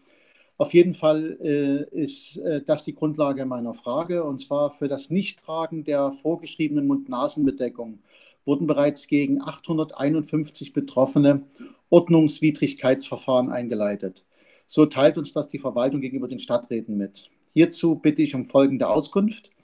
In welchen Bereichen wurde die Ordnungswidrigkeit wegen Nichttragen der vorgeschriebenen Mund-Nasen-Bedeckung aufgeschlüsselt in Fußgängerzone, den ausgewiesenen Innenstadtbereich und das übrige Stadtgebiet festgestellt? Gegen wie viele der Ordnungswidrigkeitsverfahren wurde Einspruch eingelegt und aus welchen Gründen? Insbesondere im Hinblick auf die aus meiner Sicht etwas schwammigen Formulierung aus der sächsischen Corona-Schutzverordnung, dass eine Pflicht zum Tragen einer Mund-Nasen-Bedeckung im öffentlichen Raum besteht, wenn sich Menschen begegnen. Und wie viele Ordnungswidrigkeitsverfahren wurden niedergeschlagen und wie viele sind noch anhängig? Vielen Dank. Ja, vielen Dank, Herr Gilke, für die Frage. Die Beantwortung übernehme ich äh, selbst. Es ist so, dass äh, keine äh, ganz spezifische Statistik nach den äh, Örtlichkeiten geführt wird, äh, was die Begehungsorte angeht, die mit klarem Abstand, aber äh, aus einer Beobachtung ergebene häufigsten Orte sind hier die Prager Straße und der Wiener Platz vor dem Hauptbahnhof logisch, dort, wo eine relativ hohe Frequenz an äh, äh, Personen äh, ist an der Stelle. Es ist äh, so, dass wir bisher sind es aktuell 908 Verstöße gegen das Nichttragen einer Mund-Nasen-Bedeckung äh, von der Bußgeldstelle bearbeitet äh, werden. Davon waren 135 in Bus und Bahn, 71 in Läden und 105 äh, in öffentlich zugänglichen Räumlichkeiten sowie 554 unter freiem Himmel. Von diesen 908 äh, äh, eingeleiteten Verfahren betreffen 508 Verfahrengelder 290 äh, Verfahren sind äh, zu Bußgeldtatbeständen umgewandelt worden. Insofern gibt es hier jetzt einige Verfahren, gegen die Einspruch eingelegt worden sind. Einsprüche liegen 52 äh, vor. Es sind aber auch 117 Verfahren inzwischen eingestellt äh, worden. 293 äh, Verwarnungen wurden inzwischen bezahlt und Bußgeldbescheide rechtskräftiger Art sind 149 ist also immer eine gewisse äh, Momentaufnahme. Diese Einstellungen haben zum Beispiel damit zu tun, wenn auf einer Einlassung äh, äh, eines äh, Betroffenen eben gesagt wird, ja, in, in, Ordnung, das rechtfertigt jetzt in der Tat, das Verfahren eingestellt wird. Es gibt äh, also eine bunte Mischung, warum und wie Einspruch eingelegt wird. Also zum Beispiel 20 der Einsprüche werden überhaupt nicht be begründet. Äh, dann sind es auch die äh, Dinge, die jetzt eher als reine Abwehrbehauptung sind. Also zum Beispiel, dass man überhaupt keine Kenntnis von einer Pflicht einer Mund-Nasen-Bedeckung äh, auch äh, hat. Äh, dann wird zum Beispiel auf vorliegende Atteste äh, hingewiesen. oder aber, dass es gerade in dem Moment der Kontrolle ein gesundheitliches Problem gab, dass man Fusseln aus dem Mund entfernt hat und andere Dinge. Das ist eine breite Palette die allerdings äh, äh, die Einsprüche auch von der Qualität jetzt nicht substanziell von dem unterscheiden, wie wir das bei anderen Buß- und Verwarngeldverfahren äh, gelegentlich äh, auch äh, haben an der Stelle. Ganz klar ist, je länger die Regelungen gelten und je länger Regelungen stabil gelten, also sie nicht geändert werden, desto höher ist auch grundsätzlich die Kenntnis der Regelungen äh, und damit verbunden auch ein Teil der Akzeptanz. Soweit. Gut, vielen Dank. Bitte sehr. Wir setzen in der Fragerunde fort. Als äh, nächstes Herr Dr. Schulte-Wissermann.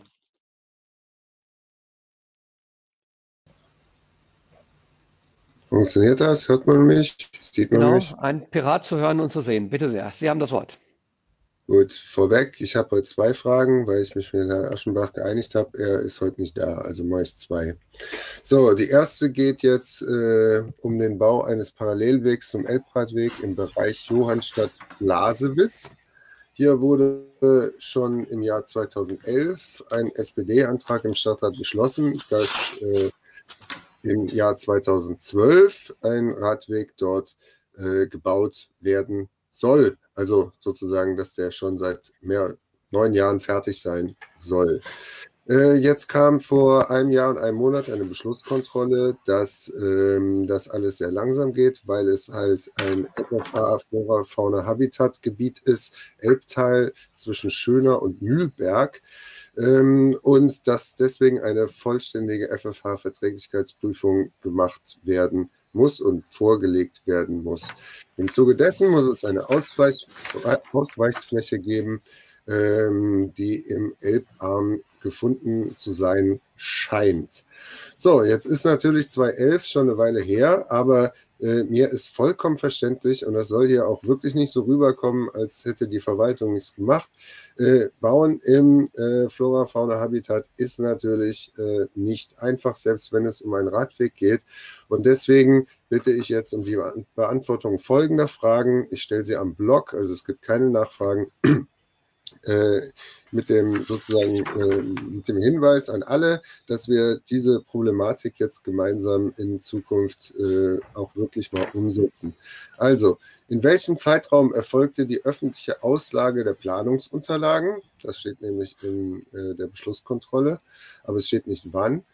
Wo können die Planungsunterlagen von äh, Stadträten eingesehen werden? Wo können die Planungsunterlagen von Umweltverbänden, Vereinen und Initiativen eingesehen werden? Und wo können die Planungsunterlagen von interessierten Bürgern äh, eingesehen werden? Drittens, ist das Grundstück für die Ausgleichsfläche im städtischen Besitz oder ist das bisher alles Wunschdenken? Und viertens, äh, ist das Planfeststellungsverfahren mittlerweile eröffnet oder um anders zu formulieren, welche Hürden müssen noch überwunden werden, bevor mit dem Bau dieses dringend benötigten Radwegs begonnen werden kann? Vielen Dank. Vielen Dank, Herr Dr. Schulte-Wissermann, für die Frage. Die Beantwortung übernimmt wiederum Herr Kollege Kühn. Bitte schön. Ja, Herr äh, Stadtrat Dr. Schulte-Wissermann, am 11. Juli äh, 2021 können wir den zehnjährigen Jahrestag der Einreichung des Antrags auf Planfeststellung bei der Landesdirektion Dresden äh, äh, Sachsen feiern. Dann äh, ne, am 11. Juli 20, 2011 äh, wurde nämlich bereits ähm, der Antrag auf Planfeststellung gestellt.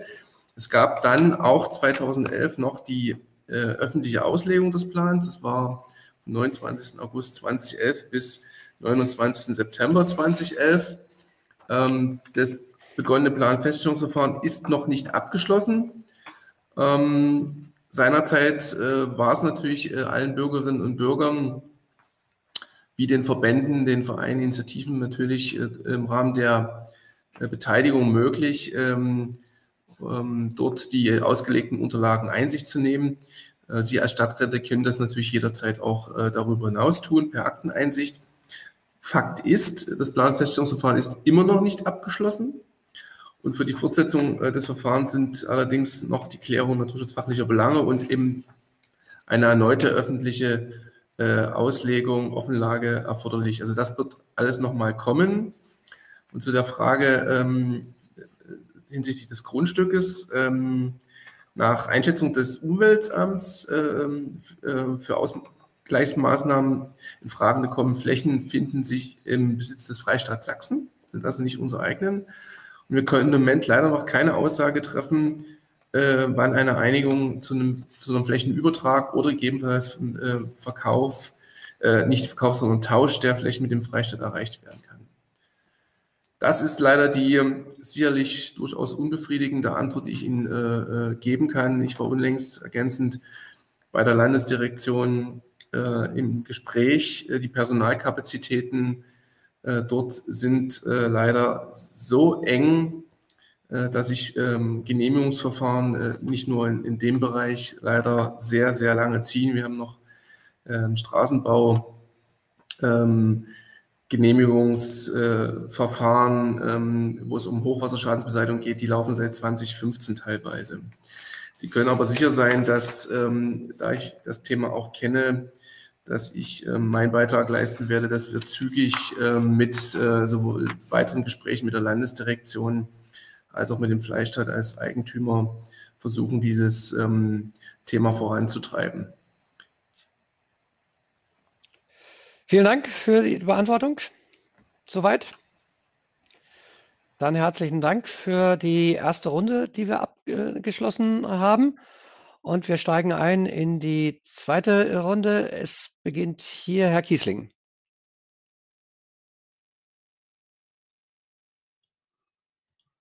So, bin da. Herzlich willkommen. Ja, ich höre schon die ganze Zeit zu. Also, ich frage, der Eigenbetrieb IT erneuert äh, in regelmäßigem Rhythmus ja die Endgeräte in der Stadtverwaltung. Und es stellt sich die Frage, was mit den Geräten passiert, die dann ausgetauscht werden. Gibt es auch eine ältere Antwort auf eine Anfrage von äh, Stadträtin Frau Hanser. Äh, die endet zum Beispiel damit, dass dort geschrieben wird, die Geräte, die nicht der Verwaltung mehr genügen, die werden verschrottet.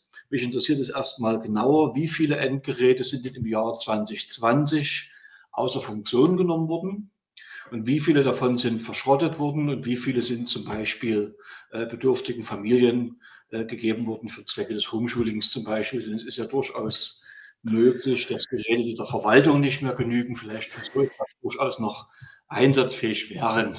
Vielen Dank für die Beantwortung schon mal im Voraus. Vielen Dank für die Frage. Die Beantwortung äh, übernimmt Herr Kollege Dr. Lames. Bitte schön.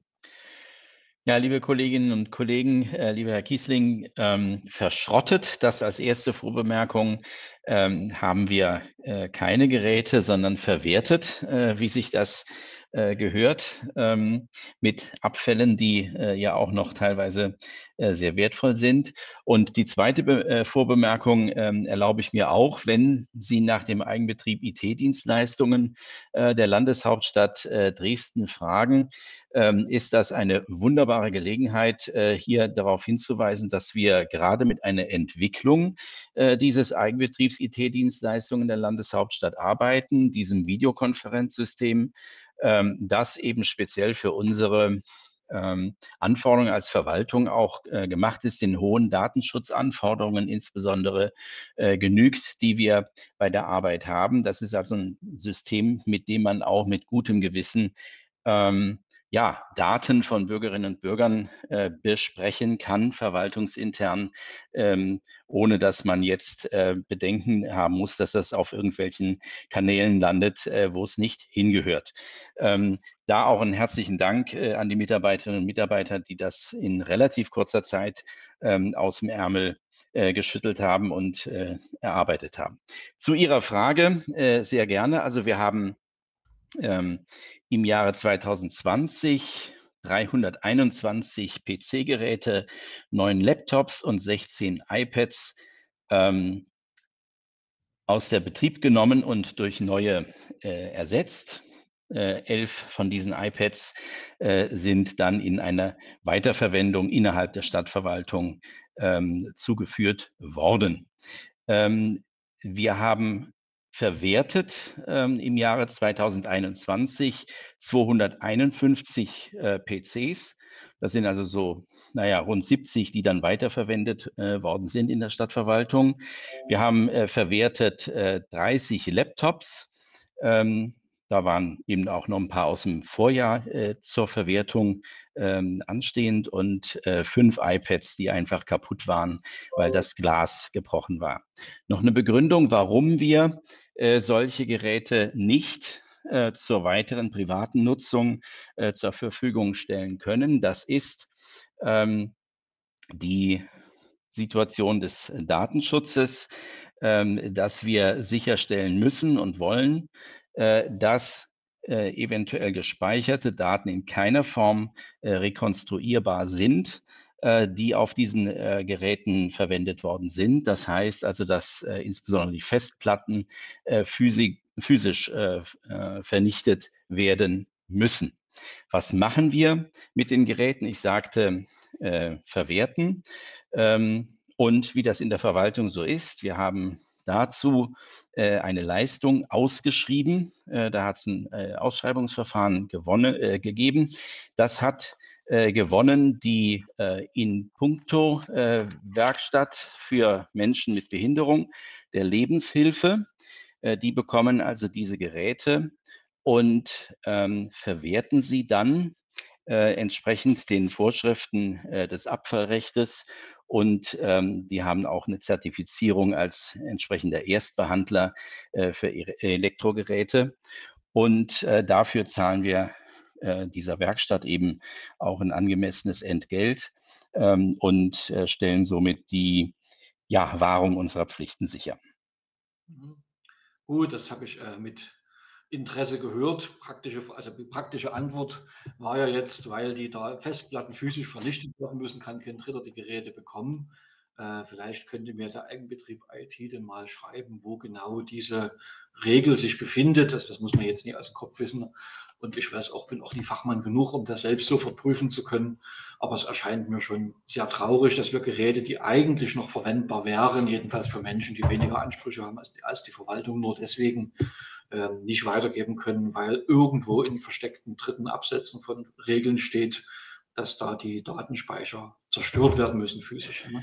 Naja, äh, lieber Kollege Kiesling, ähm, wir haben ja jetzt äh, Fragestunde und keine Diskussionsstunde, ähm, aber gleichwohl äh, möchte ich da gleich ähm, entgegentreten. Das ist eigentlich eine Grundregel unseres Umgangs mit ähm, Daten Fremder, die uns anvertraut sind. Das Grundrecht der informationellen Selbstbestimmung. Wer uns seine Daten anvertraut, muss sich darauf verlassen können, äh, dass wir ordnungsgemäß damit umgehen und dass damit kein Schindluder getrieben wird. Und dafür stehen wir ein. Äh, und ähm, da können wir eben auch nicht äh, so äh, beliebig drüber äh, verfügen, auch über die Geräte, die wir haben. Äh, und selbstverständlich nutzen wir die Geräte, wenn sie nutzbar sind, für unsere Zwecke, auch für unsere Zwecke weiter. Äh, und ansonsten gehen die in eine ordnungsgemäße Verwertung. Die landen nicht auf irgendeinem Schrottplatz, sondern die gehen in eine ordnungsgemäße Verwertung äh, und dass damit eben diese ähm, in puncto Werkstätten einen Auftrag äh, haben. Äh, das ist, glaube ich, auch das, was im Sinne der Nachhaltigkeit und äh, der sinnvollen Verwertung auch erreichbar ist. Gut, vielen Dank. Ich verzichte darauf, ähnlich auch scharf zu reagieren. Aber das Genau, wir machen dafür mit der nett. Fragestunde wie vorgesehen äh, weiter. Die nächste Frage kommt von Herrn Kanewski. Bitte schön, Herr Kanewski, Sie haben das Wort.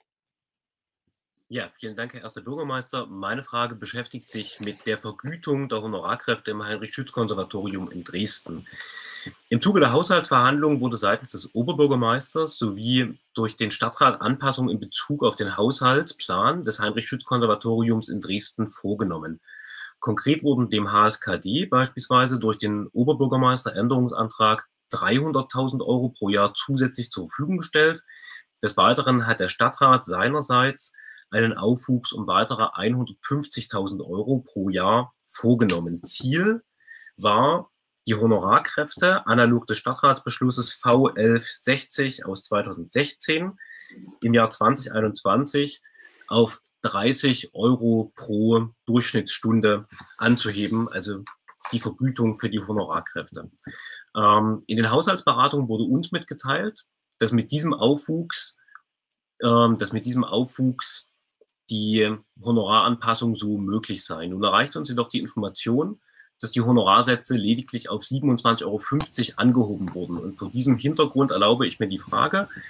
Erstens fand eine Anpassung des Wirtschaftsplans des Heinrich-Schütz-Konservatoriums nach Beschluss des Haushalts im Dezember 2020 statt und in welchen einzelnen Positionen sowie mit welchem Ziel und welchen Maßgaben wurden die insgesamten zusätzlichen 450.000 Euro in diesem umgesetzt bzw. eingesetzt?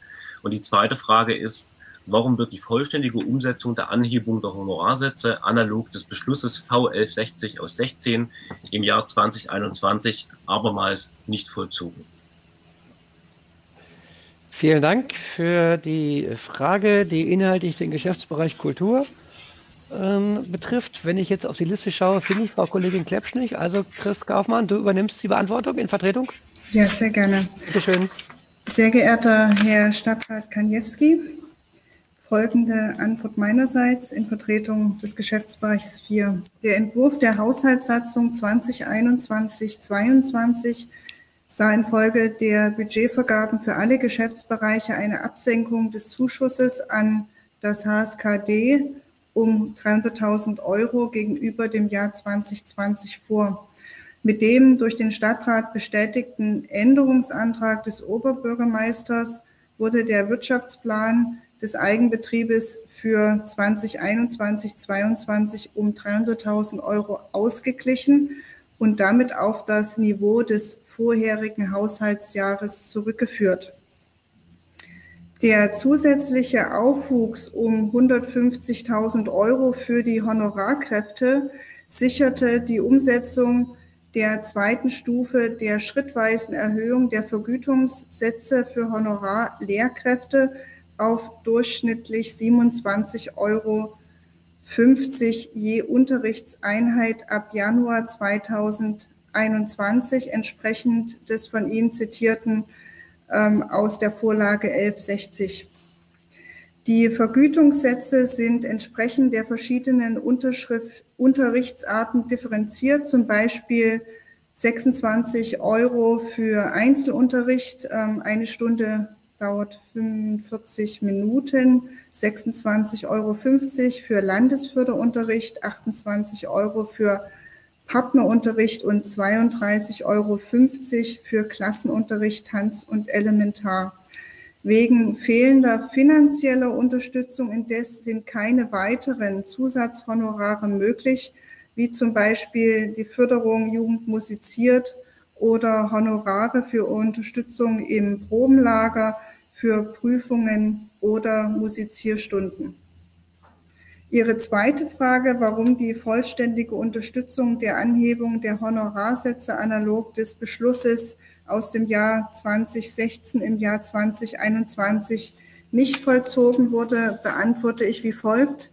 Mit dem von Ihnen zitierten Beschluss zur Überführung des Heinrich-Schütz-Konservatoriums in eine städtische Musikschule im Jahr 2016 wurde zunächst eine Zielstellung für die Vergütung der Honorarlehrkräfte formuliert, der die Landeshauptstadt aufgrund begrenzter finanzieller Ressourcen bei der Aufstellung der Haushaltssatzung in den Folgejahren nicht vollumfänglich gefolgt ist. Die für das Jahr 2021-22 erfolgte zusätzliche Mittelbereitstellung von 150.000 Euro hat eine Erhöhung der Vergütungssätze auf durchschnittlich 27,50 Euro ermöglicht. Der durchschnittliche Honorarsatz betrug bis dahin 26 Euro je Unterrichtseinheit. Eine Anpassung auf durchschnittlich 30 Euro je 45 Minuten bedarf weiterer zusätzlicher Finanzmittel, wenn das Unterrichtsangebot im bisherigen Umfang aufrechterhalten werden soll. Die sich daraus ergebenden einzelnen Honorarsätze wurden unter Ihrer Frage erstens von mir bereits beantwortet. Vielen Dank. Soweit dazu. Da würde ich, da würde ich gerne nachfragen. Vielen Dank für die, für die Antwort, äh, Frau Dr. Kaufmann. Ich erlaube mir mal trotzdem zwei Sätze an der Stelle. Sie machen das ja gerade irgendwo stellvertretend. Erstens ähm, bin ich der Auffassung, dass meine Frage gerade im Punkt 1 nicht beantwortet wurde. Das heißt also, wo im Haushaltsplan komplett und konkret die 450.000 Euro verändert wurden ähm, des HSKD. Das bitte ich nachzureichen. Das ist eine ganz, ganz konkrete Frage gewesen. Ähm, das, was Sie gerade dargestellt haben, sind Informationen, die uns ja auch vorliegen. Das kann ich aus vielen Beschlüssen und mündlich im Kulturausschuss auch nachfragen. Das ist ja aber nicht der konkrete Hintergrund der Frage gewesen. Dort bitte ich in der schriftlichen Ausführung nochmal darum, dass das konkret dargelegt wird.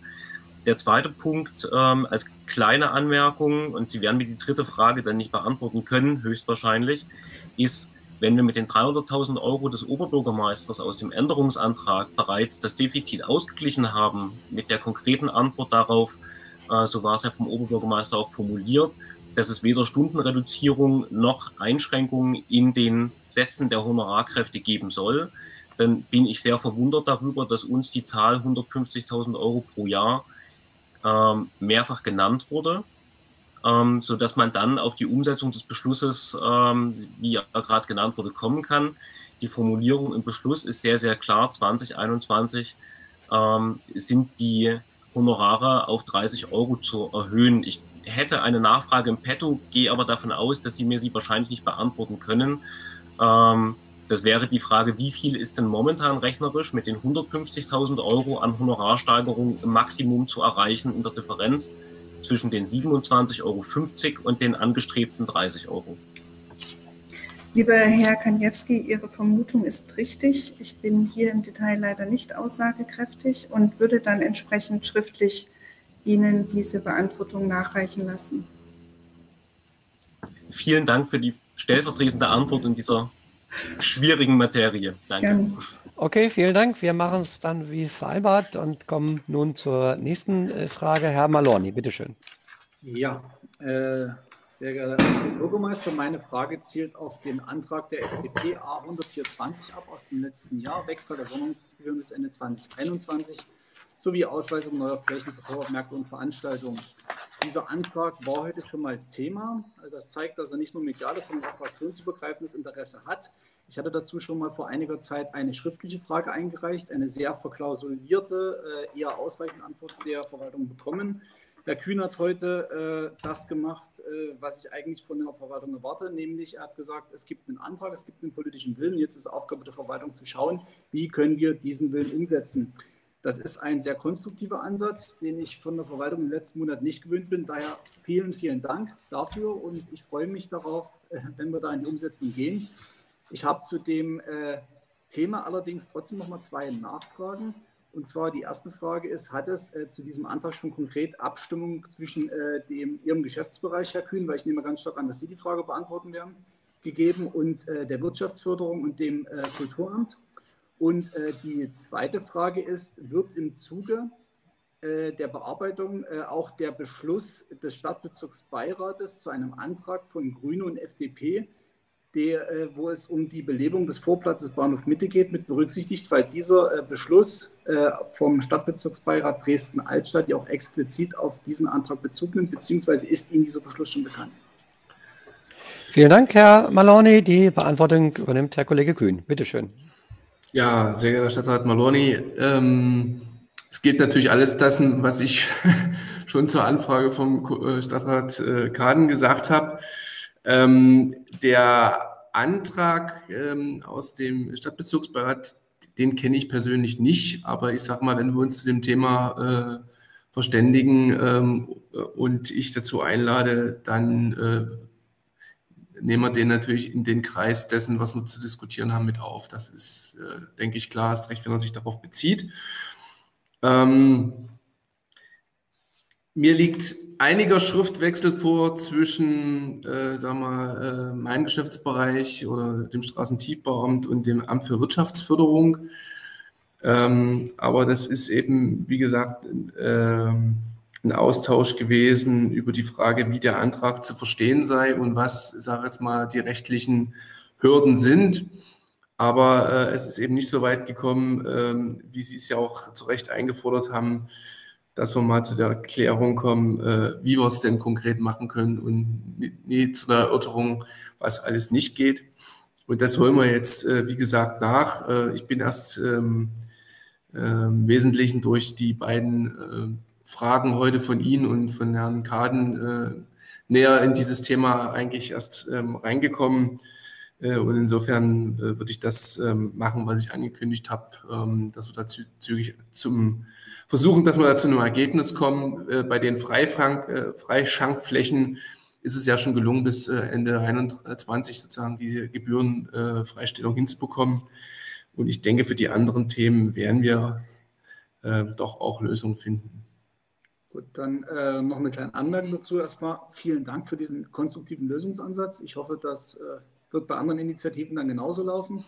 Und äh, ich würde Ihnen dann trotzdem schon mal den ähm, Antrag bzw. den Beschluss vom Stadtbezirksbeirat Altstadt schon mal auf kurzen Dienstweg schon mal zukommen lassen. Dann können Sie sich mal einen Blick davon machen. Und äh, ja, vielen Dank für die Beantwortung. Können Sie gerne machen. Sehr Dank. Vielen Dank. So machen wir das. Und wir kommen zur nächsten Frage. Frau Dagen, Sie haben das Wort. Bitte schön. Ja, guten Tag. Bin ich zu hören? Sie sind zu hören. Prima. Ja, gut. gut. Ähm, meine Frage hat eine, einen kulturpolitischen Ansatz und ist durchaus auch äh, von Tagesaktualität geprägt. Und zwar resultierend aus der Berichterstattung bezüglich des Streites zwischen dem Christian Thielemann der Staatskapelle Dresden und Herrn Theiler, der Intendant von der Semperoper. Meine Frage bezieht sich also auf eventuelle Probemöglichkeiten im großen Konzertsaal im Kulturpalast für Dritte. Stellen Sie jetzt mal vor, die Landeshauptstadt Dresden hat in die Sanierung des Kulturpalastes über 100 Millionen Euro investiert.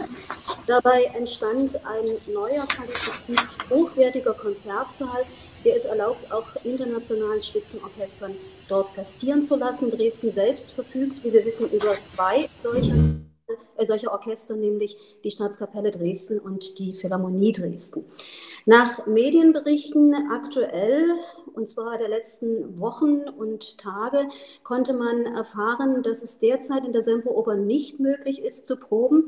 Und es gab sogar Musiker der Staatskapelle Dresden, die klagten ihr Recht auf Arbeit vor Gericht ein und sind sogar bereit, dies in mehreren Instanzen durchzufechten.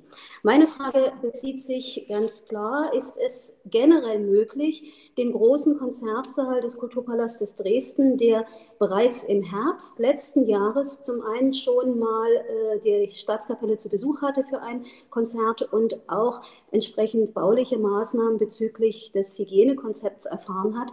Also ist es möglich, diesen Konzertsaal auch für Dritte nutzbar zu machen.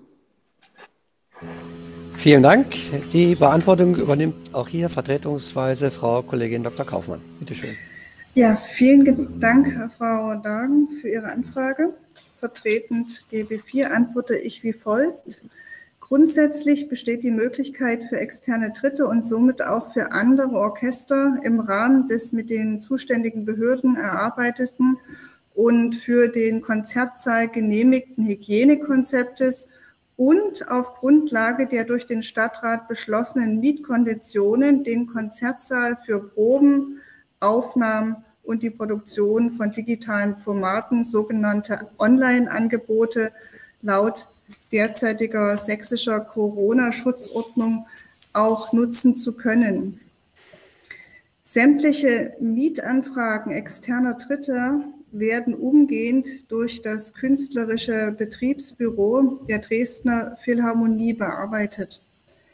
Die derzeit geltende sächsische Corona-Schutzverordnung und das Hygienekonzept der Dresdner Philharmonie für den Konzertsaal des Kulturpalastes setzen aufgrund der Abstandsregelungen natürlich Grenzen hinsichtlich der Kapazität beziehungsweise der Anzahl an Musikerinnen und Musiker, die zeitgleich im Konzertsaal tätig bzw. proben können. Insofern muss für jedes Orchester das geplante Programm hinsichtlich der Orchesterbesetzung entsprechend angepasst werden, aber auch das ist möglich. Die konkret von der sächsischen Staatskapelle oder der Leitung der Sächsischen Staatsoper an die Dresdner Philharmonie gestellten Anfragen zur Anmietung und Nutzung des Konzertsaales des äh, Kulturpalastes wurden bereits bearbeitet. Eine mietfreie Bereitstellung des Konzertsaales im Kulturpalast ist indes für die Staatskapelle nicht möglich. Ähm, darf ich eine Rückfrage stellen? Eine Nachfrage bitte sehr, Frau Dagen. Ja, ja sehr gerne. Und zwar ähm, war denn bei der Anfrage, die von Seiten der Semperoper erfolgt ist, also die muss ja dann von Seiten der Intendanz erfolgt äh, sein, war denn da inhaltlich davon die Rede, dass man eine mietfreie Bereitstellung anfragt? Das kann ich ihm im Detail nicht sagen. Ähm, das haben wir entnommen der Anfrage in dem Duktus, wie sie gestellt worden ist. Also wir können prinzipiell, ähm, das sagte ich Ihnen bereits, keine mietfreien Angebote unterbreiten. Erstens. Zweitens, wir können aber jederzeit natürlich unseren Konzertsaal für Proben zur Verfügung stellen, entsprechend des ähm, Hygienekonzeptes und entsprechend auch der Gebührenordnung, die Sie als Stadtrat genehmigt haben. Gut. Vielen Dank. Darf ich um eine schriftliche? Sehr gern. Wie, wie immer kommt es auch schriftlich, so machen wir das. Vielen Dank. Wir setzen in der Fragerunde fort und Herr Schulze jetzt als Herr Schulze selbst ist dran. Bitte schön. Genau, ja. Ja, sehr geehrter Herr Bürgermeister, äh, die zweite Frage bezieht sich nochmal äh, auf den, äh, die Kinderbetreuung letzten Endes dann. Also wir haben ja auch nochmal Nachfragen von vielen Eltern auch in die Fraktion oder zu uns direkt bekommen. Äh, es geht um die aktuellen Gegebenheiten dann, also dass in den Einrichtungen des Eigenbetriebs Kita, aber auch äh, bei den freien Trägern keine Betreuung der Kinder von neun, zehn oder eben auch elf Stunden dann, wie zum Teil auch in den Betreuungsverträgen vereinbart ist, äh, angeboten werden können. Das bedeutet, für die betroffenen Eltern stellt sich das oft, stellt das oft eine sehr große Heraus oder eine größere Herausforderung auch dar. Gleichzeitig ist den Eltern allerdings auch im Schreiben mitgeteilt worden, dass keine Reduzierung der Elternbeiträge möglich äh, oder vorgesehen ist. Vor dem Hintergrund, äh, dass bereits in den vergangenen Wochen und Monaten durch die Eltern eine Betreuung zu Hause organisiert werden musste, ist die Frage, ob eine finanzielle Entlastung äh, vielleicht auch angedacht oder möglich ist dann.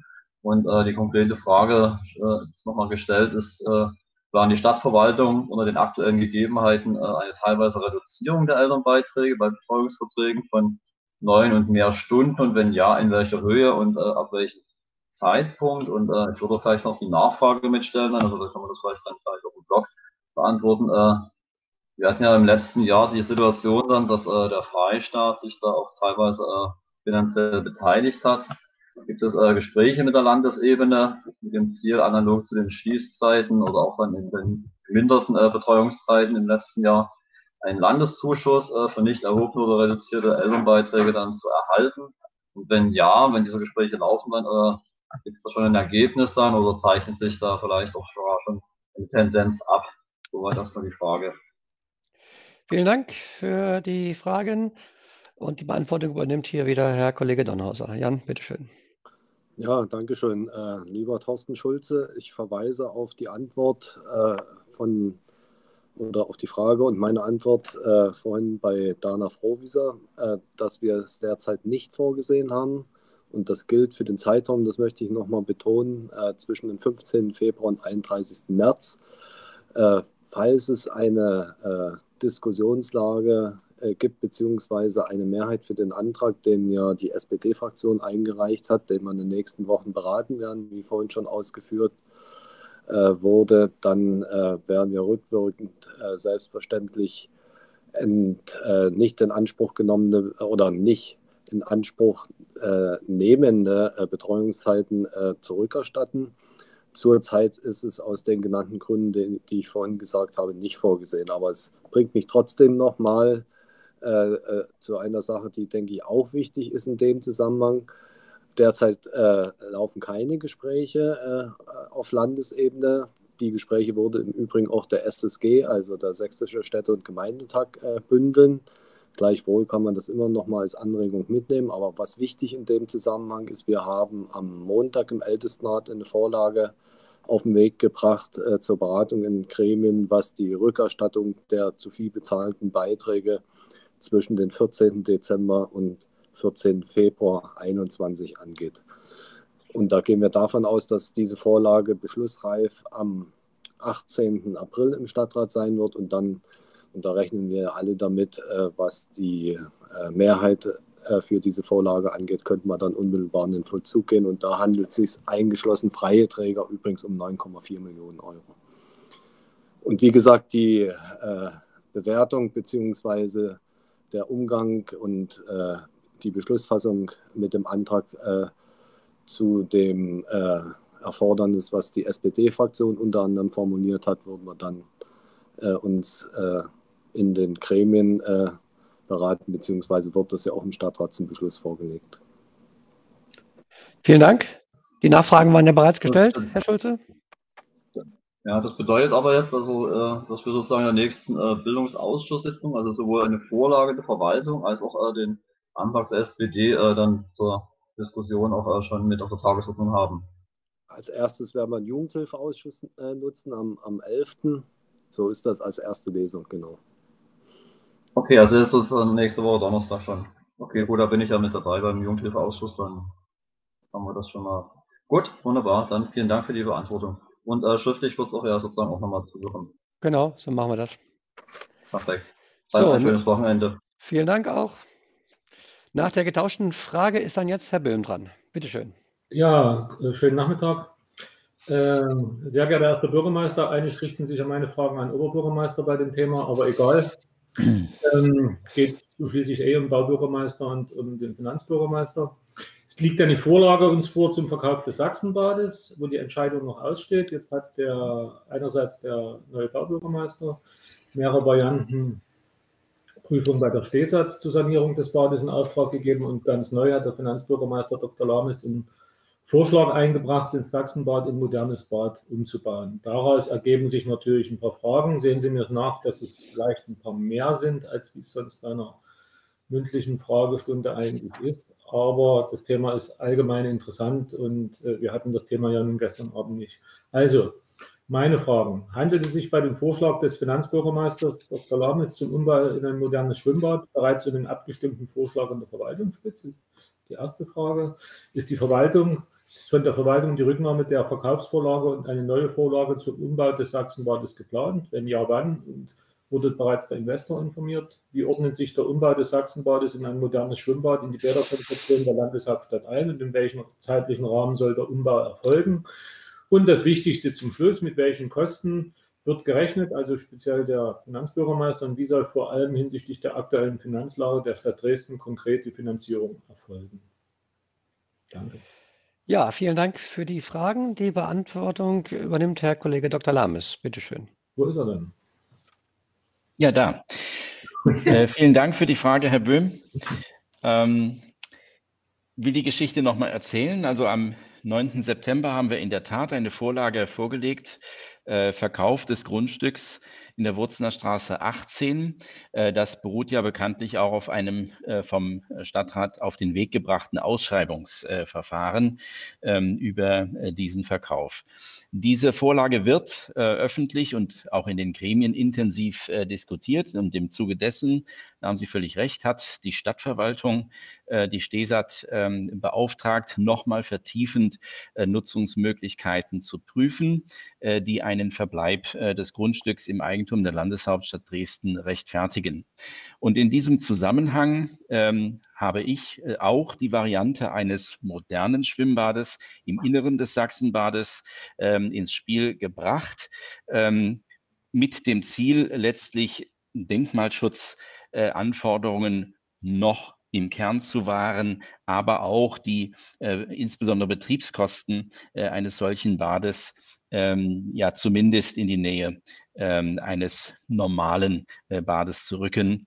Ähm, und dementsprechend den Weg möglicherweise gangbar zu machen. Das ist jetzt äh, unter den Aspekten des Denkmalschutzes als auch äh, unter baulichen und betrieblichen Fragen zu prüfen, wie alle anderen äh, Varianten auch, die ähm, auf dem Tisch liegen.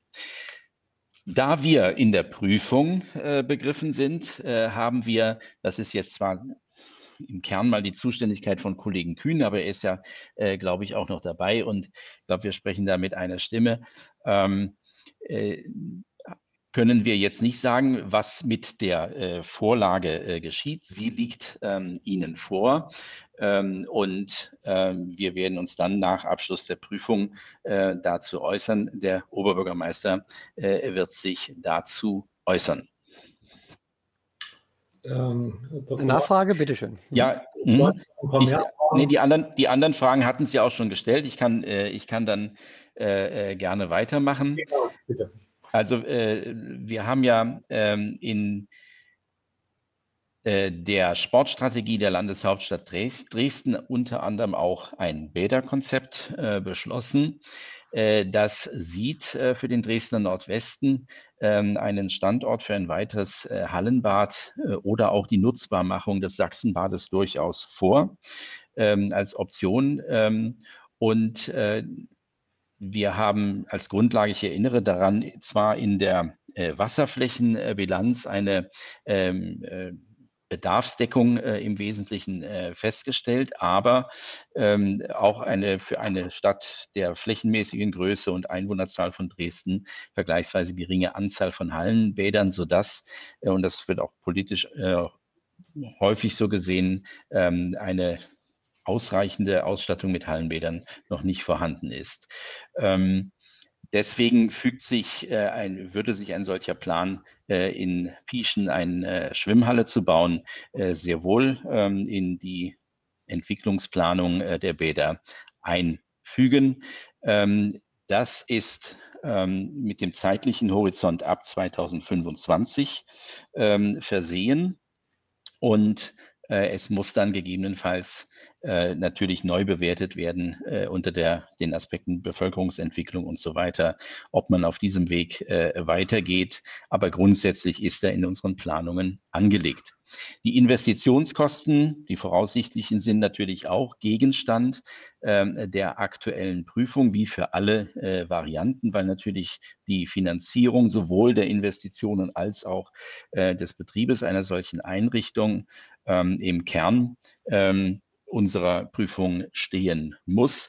Äh, ich weise darauf hin, äh, dass die Finanzierung dann gegebenenfalls äh, der Dresdner Bäder GmbH obliegen würde. Allerdings ist natürlich auch bei der Finanzierung durch die Bäder GmbH zu berücksichtigen, ähm, die Finanzlage insgesamt und die Leistungsfähigkeit des Querverbundes der städtischen Unternehmen.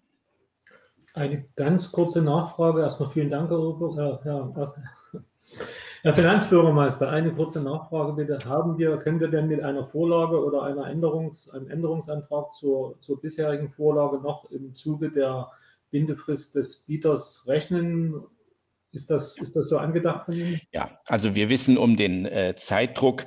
Ähm, äh, auch da hört Kollege Kühn zu, aber ich denke, wir äh, sagen das völlig übereinstimmend. Wir wissen um den äh, Zeitdruck äh, der Entscheidung und die vorliegenden Fristen. Äh, das ist alles sehr äh, dicht auch besprochen und wir arbeiten mit einem entsprechenden Zeitplan, damit wir uns rechtzeitig äußern können. Vielen Dank. Schönen Nachmittag noch. Gut, vielen Dank. Wir setzen fort und die nächste Frage kommt von Herrn Laczynski. Bitte schön. Ja, können Sie mich hören? Ja. Oder? Hallo? Ja, alles gut. Sehr schön. Ähm, sehr geehrter Herr Erster Bürgermeister, am Abend des 13. Februars versammelten sich äh, Dresdner Bürger am Alpenmarkt, um Grenze und Kerzen niederzulegen und während des Glockengeläutes in Stille und Andacht den Opfern der Bombennächte zu gedenken. Etwa zur gleichen Zeit versammelten sich im Südwesten des Altmarktes Gruppierungen mit dem scheinbaren Ziel, mit Geschrei, Trommeln und Pfeifen gegen die trauernden Dresdner Bürger und gegen das Glockengeläut der Kreuzkirche lautstark zu opponieren. Mir ist bekannt, dass einige Versammlungen rund um den Altmarkt, äh, welche während des Glockengeläutes stattfanden, dahingehend beauflagt wurden, dass die Zuhilfenahme von akustischen Hilfsmitteln, also Pfeifen und Trommeln, während des Glockengeläutes durch die Versammlungsbehörde untersagt wurde. In diesem Zusammenhang ergeben sich folgende Fragen. Um welche Gruppierung und namentlich welchen Versammlungsleiter handelt es sich bei dem sogenannten Gegenprotest, also der angemeldeten Versammlung im Südwesten des Dresdner Altmarktes, und wurde bei der Versammlung ebenfalls die Zuhilfenahme von akustischen Hilfsmitteln untersagt? Weiterhin hätte ich gern gewusst, wenn eine entsprechende Auflage erteilt wurde, wann wurden die Teilnehmer dieser Versammlung über die Auflage in Kenntnis gesetzt und welche Maßnahmen wurden seitens des Versammlungsleiters oder der Versammlungsleiterin ergriffen, um die auflagenwidrige Verwendung von akustischen Hilfsmitteln während des Glockengeläutes wirkungsvoll zu unterbinden? Und weiterhin, welche Auswirkungen hat das wiederholende Ignorieren von Auflagen auf die Einschätzung der Versammlungsbehörde hinsichtlich der Vertrauenswürdigkeit des Versammlungsleiters? Und welche Konsequenzen werden seitens der Stadtverwaltung hier im vorliegenden Fall gezogen? Ja, vielen Dank für die Frage, Herr Lasinski, die ich auch gern beantworte. Zum Gegenstand des 13. Februars und des Versammlungsgeschehen gibt es hier konkret einen Versammlungsbescheid, der an die Jusos Dresden gerichtet war und der hinsichtlich eines Lautsprechereinsatzes eine Regelung enthielt, dass die Abstrahlrichtung in Richtung der Schlossstraße zu erfolgen äh, hat. Äh, es war ferner eine versammlungsrechtliche Regelung getroffen, dass für die Zeit bis 21 Uhr der Einsatz von Lautsprecheranlagen, Megafonen und sonstigen technischen Verstärkern im Einzelfall äh, berücksichtigen muss, dass es polizeiliche Weisungen direkt vor Ort gibt. Und für die Zeit von 21 bis 22 Uhr war im Bescheid der Einsatz jeglicher Lautsprecheranlagen, Megafone und sonstigen technischen Verstärkern mit Ausnahme der Sicherheits- und Ordnungsdurchsagen äh, untersagt. Sonstige äh, akustische Hilfsmittel waren nicht pauschal untersagt. Es gab während der Veranstaltung eine mündliche Verfügung dass der Einsatz von Musiktrommeln störender Art untersagt wurde. Hierbei ist darauf hinzuweisen, dass pauschale Verbote sonstiger akustischer Hilfsmittel wie eben Trommeln oder anderer Musikinstrumente nicht gerechtfertigt ist und in dieser Pauschalität auch nicht rechtlich zulässig ist. Ganz grundsätzlich, was die Auflagen von Versammlungsbescheiden bzw. ergänzende Verfügungen vor Ort angeht, obliegt dies äh, der Versammlungsleitung. Der Lautsprecherwagen ist auch zur Zeit des Glockengeläuts nicht eingesetzt äh, worden, sondern dieser Lautsprecherwagen hat bereits um 21.37 Uhr, also noch vor Beginn des Glockengeläuts, die Versammlungsfläche verlassen. Die Frage äh, im Hinblick auf äh, Ignorieren von Auflagen und äh, nicht ordnungsgemäßen Verhandelns äh, ist jetzt ihrerseits hier mit einer subjektiven Wahrnehmung äh, begleitet äh, worden, die ich nicht pauschal teilen kann, sondern hier ganz gern auf die allgemeine Verfahrensweise auch hinweise. Ganz grundsätzlich wertet die Versammlungsbehörde in der Regel auch gemeinsam mit der Polizei und den jeweiligen Veranstaltern, also Anmeldern, Versammlungen aus. bei Anmeldern die regelmäßig Versammlungen anmelden, dient das auch dazu, zu berücksichtigen, was man bei der Durchführung oder auch der Vorbereitung einer Versammlung bis zum nächsten Mal noch besser äh, machen kann. Wichtig ist hierbei aber, dass eine äh, Auswertung sich immer auf konkrete Fakten und auf Tatsachen äh, stützt und diese Auswertung zuallererst mit den Anmeldern selber stattfindet. Ansonsten kennen Sie aus der Verwaltungspraxis auch durch äh, ihre Teilnahme auch anderen Veranstaltungen, dass es sehr häufig ein Bild äh, gibt, das von außen wahrgenommen äh, eine Versammlung per se als störend wahrgenommen wird. Es aber häufig auch ist, dass es einzelne Teilnehmer einer Versammlung sind und sich auch immer die Frage stellen muss, die konkret das jetzt der Versammlungsleitung oder dem Anmelder zuzurechnen ist. Ganz grundsätzlich, um nochmal einer pauschalen äh, Vermutung einer Unzuverlässigkeit äh, entgegenzutreten. Ganz grundsätzlich ist aus zurückliegenden Veranstaltungen der konkrete Versammlungsanmelder hier in Form der Jusus als ein kooperativer und zuverlässiger Veranstalter und Anmelder bekannt.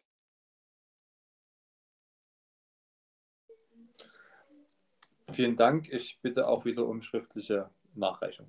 So machen wir das. Genau, dann kommen wir zum Abschluss der äh, zweiten Runde und der Fragestunde insgesamt noch einmal zu Herrn Dr. Schulte-Wissermann, der jetzt die Aschenbach, Aschenbachste Freikugel nutzen kann und nochmal fragen darf. Bitte schön. Bin ich schon zu hören? Ja. Gut. Der Aschenbachsche Freikugel, äh, ja gut, ist egal. So, ähm, es geht jetzt äh, um die Beschlussfassung im Stadtrat zur Planung, Finanzierung und zum Bau eines möglichen Affenhauses im Zoo. Und zwar hat der Dresdner Stadtrat am 26.11. letzten Jahres beschlossen, dass der Oberbürgermeister dem Stadtrat bis zum 28.02., also bis vor einigen Tagen, eine Vorlage zur Planung, Bau und Finanzierung des Neubaus eines Orang-Utan-Hauses zur Beschlussfassung vorzulegen habe. Ähm, wie gesagt, der Februar ist vorbei, aber in der Zeitung kann man lesen, dass der Zoodirektor Karl-Heinz Ukena äh, gesagt hat, dass ähm, er 12 Millionen Kredit aufnehmen will und dass natürlich darüber es eine Vorlage geben werde. Er aber äh, zuversichtlich sei, im Juli zu beginnen mit dem Bau und dass er bereits am 30. Oktober Bauantrag für das Affenhaus gestellt hat. So, jetzt meine drei äh, Fragen. Ähm, auch, ich stelle sie auch wieder am Blog. Vielleicht habe ich noch eine Nachfrage, aber ich hoffe nicht. Äh, erste Frage. Wie ist der Bearbeitungsstand der Stadtratsvorlage zum Neubau des Affenhauses? Wann wird die Vorlage die Gremien erreichen? Wann ist mit einer Beschlussbehandlung äh, im Stadtrat zu rechnen? Nummer zwei, welche Beratungsfolge ist vorgesehen? Insbesondere wird auch der Stadtbezirksbeirat Altstadt in die Beratungen eingebunden. Und drittens wird die Stadtratsvorlage neben der reinen Finanzierung auch die Bauplanungen und die Betriebsplanungen, also wie lange ist auf, wie viel Platz haben die Affen, wie groß sind die Gehege, äh, werden sie in Gruppen gehalten, einzeln, gibt es Zucht und so weiter, äh, wird auch das in der Vorlage behandelt werden.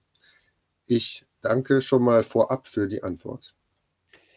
Vielen Dank, Herr Dr. Schulte-Wissermann, für die tierisch interessante Frage. Und äh, auch wenn ich gerne als Aufsichtsratsvorsitzender des Zoos einiges spontan beantworten würde, hat natürlich die Zuständigkeit hier den Vorrang. Und als Chef der Beteiligungsverwaltung wird Herr Kollege Dr. Lames hier antworten. Bitte schön. Ja, äh, lieber Kollege Dr. Schulte-Wissermann, was für eine schöne ähm, Frage zum Abschluss der Fragerunde. Äh, ich halte mal gerade hier was in die Kamera. Ähm, das ist die Vorlage, ja, ähm, von der ich jetzt äh, gleich rede, die ist äh, zurzeit im, äh, in der internen Beratung ähm, im Geschäftsgang der Stadtverwaltung und äh, glücklicherweise auch in diesen Zeiten gibt es noch Vorlagen, für die man sich Zeit und Gründlichkeit äh, nehmen kann.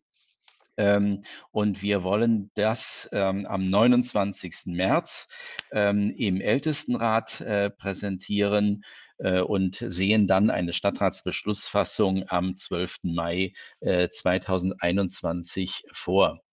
Äh, in der Beratungsfolge haben wir den Stadtbezirksbeirat Altstadt derzeit nicht vorgesehen. das kann natürlich der Oberbürgermeister auch in Abstimmung mit dem Ältestenrat ähm, auch noch anders ähm, entscheiden.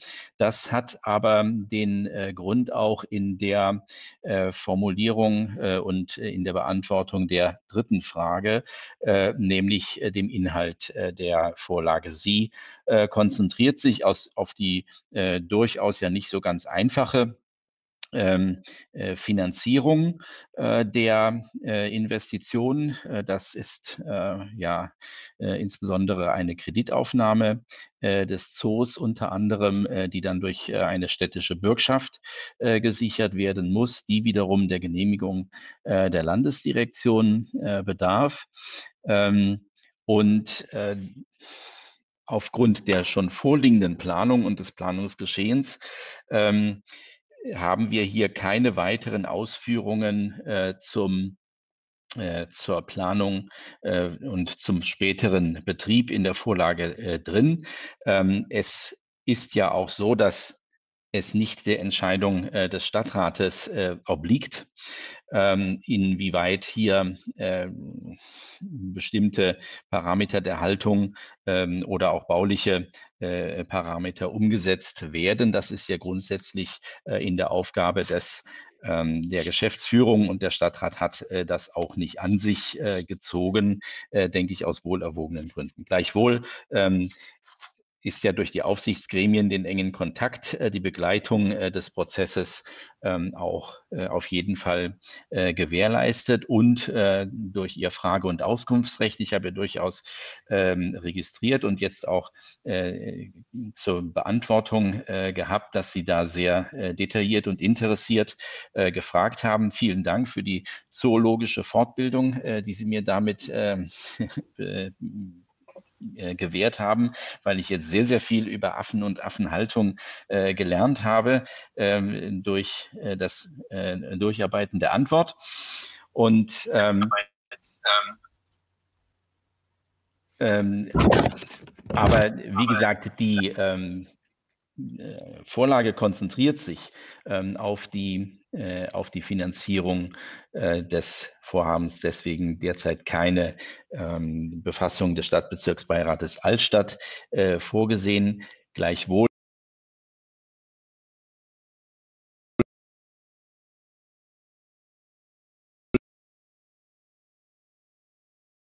Planungen beigetragen hat. Ja, dann anstatt einer Nachfrage, aber Sie können auch auf meinen Kommentar antworten, wir sind ja jetzt am Ende der Runde, äh, gestatten Sie mir zu sagen, dass bisher noch niemand in Dresden irgendeine ein Detail über das neue Affenhaus weiß. Es gab eine Info, ein Infoheftchen an den Stadtbezirksbeirat, das ist aber mit vertraulich gekennzeichnet. Und wenn der Stadtrat etwas bestellen soll, also etwas bezahlen oder eine Bürgschaft machen soll, dann muss man auch wissen, was es dann am Ende wird. Und von daher, ich würde Sie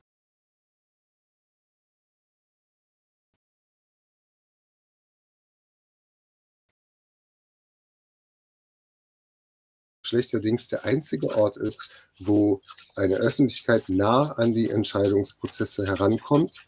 Und äh, wenn das alles fluffig geht, dann ist ja alles fluffig. Das ist eine intensive Bitte an mhm. einen meiner Lieblingsbürgermeister.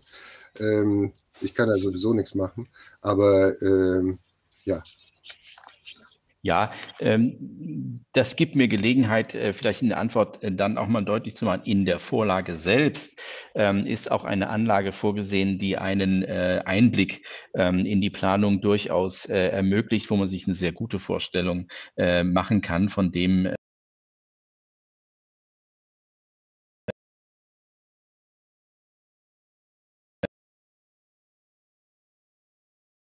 fertiggestellt äh, und der Weg ist vorgezeichnet. Also Entscheidungsmöglichkeiten äh, bestehen da im politischen Bereich äh, nicht mehr, ähm, sondern es geht um das, die grundsätzliche Entscheidung. Aber die Vorlage ist informativ ähm, und die Anregung nehme ich gerne mit, ähm, insbesondere wenn wir keine Verzögerungen haben, muss man über diesen Punkt ernsthaft nachdenken. Aber am Ende ist eine Entscheidung des Oberbürgermeisters. Vielen Dank. Damit ist diese Frage auch beantwortet. Äh, wir haben damit unsere Fragestunde absolviert. Äh, wir haben, wie das manchmal in der Schule auch vorkommt, aus der Stunde eine Doppelstunde äh, gemacht, aber wir, wir haben die Fragen beantwortet.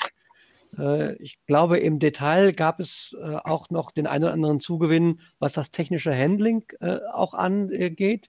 Ich stelle grundsätzlich fest, jemals aus der Perspektive, wie ich hier sehe, Sitzer hat es recht gut äh, funktioniert von der Technik und Über Übertragung, dass also auch die Anzahl der Personen so ist, dass man es überschaubar im äh, Blick hat. Insofern halte ich es durchaus für eine recht runde Situation, über die wir hier über die Bühne bekommen sind. Deswegen danke ich insbesondere dem Team hinter den Kulissen, dass diese moderne Form der Fragebeantwortung äh, ermöglicht.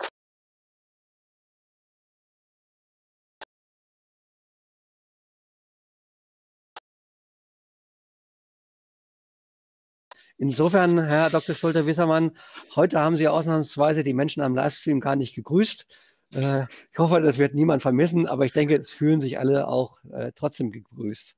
Ansonsten danke ich für die konstruktive äh, Beratung heute. Wünsche Ihnen allen noch einen schönen, erfolgreichen Tag. Steigen Sie gut ein in ein Wochenende und bleiben Sie gesund und munter. Danke, gleichfalls. Und hiermit sind wir durch. Ja. Tschüss. Wiederhören und auf Wiedersehen an alle. Ihnen auch gute Erholung, gutes Wochenende.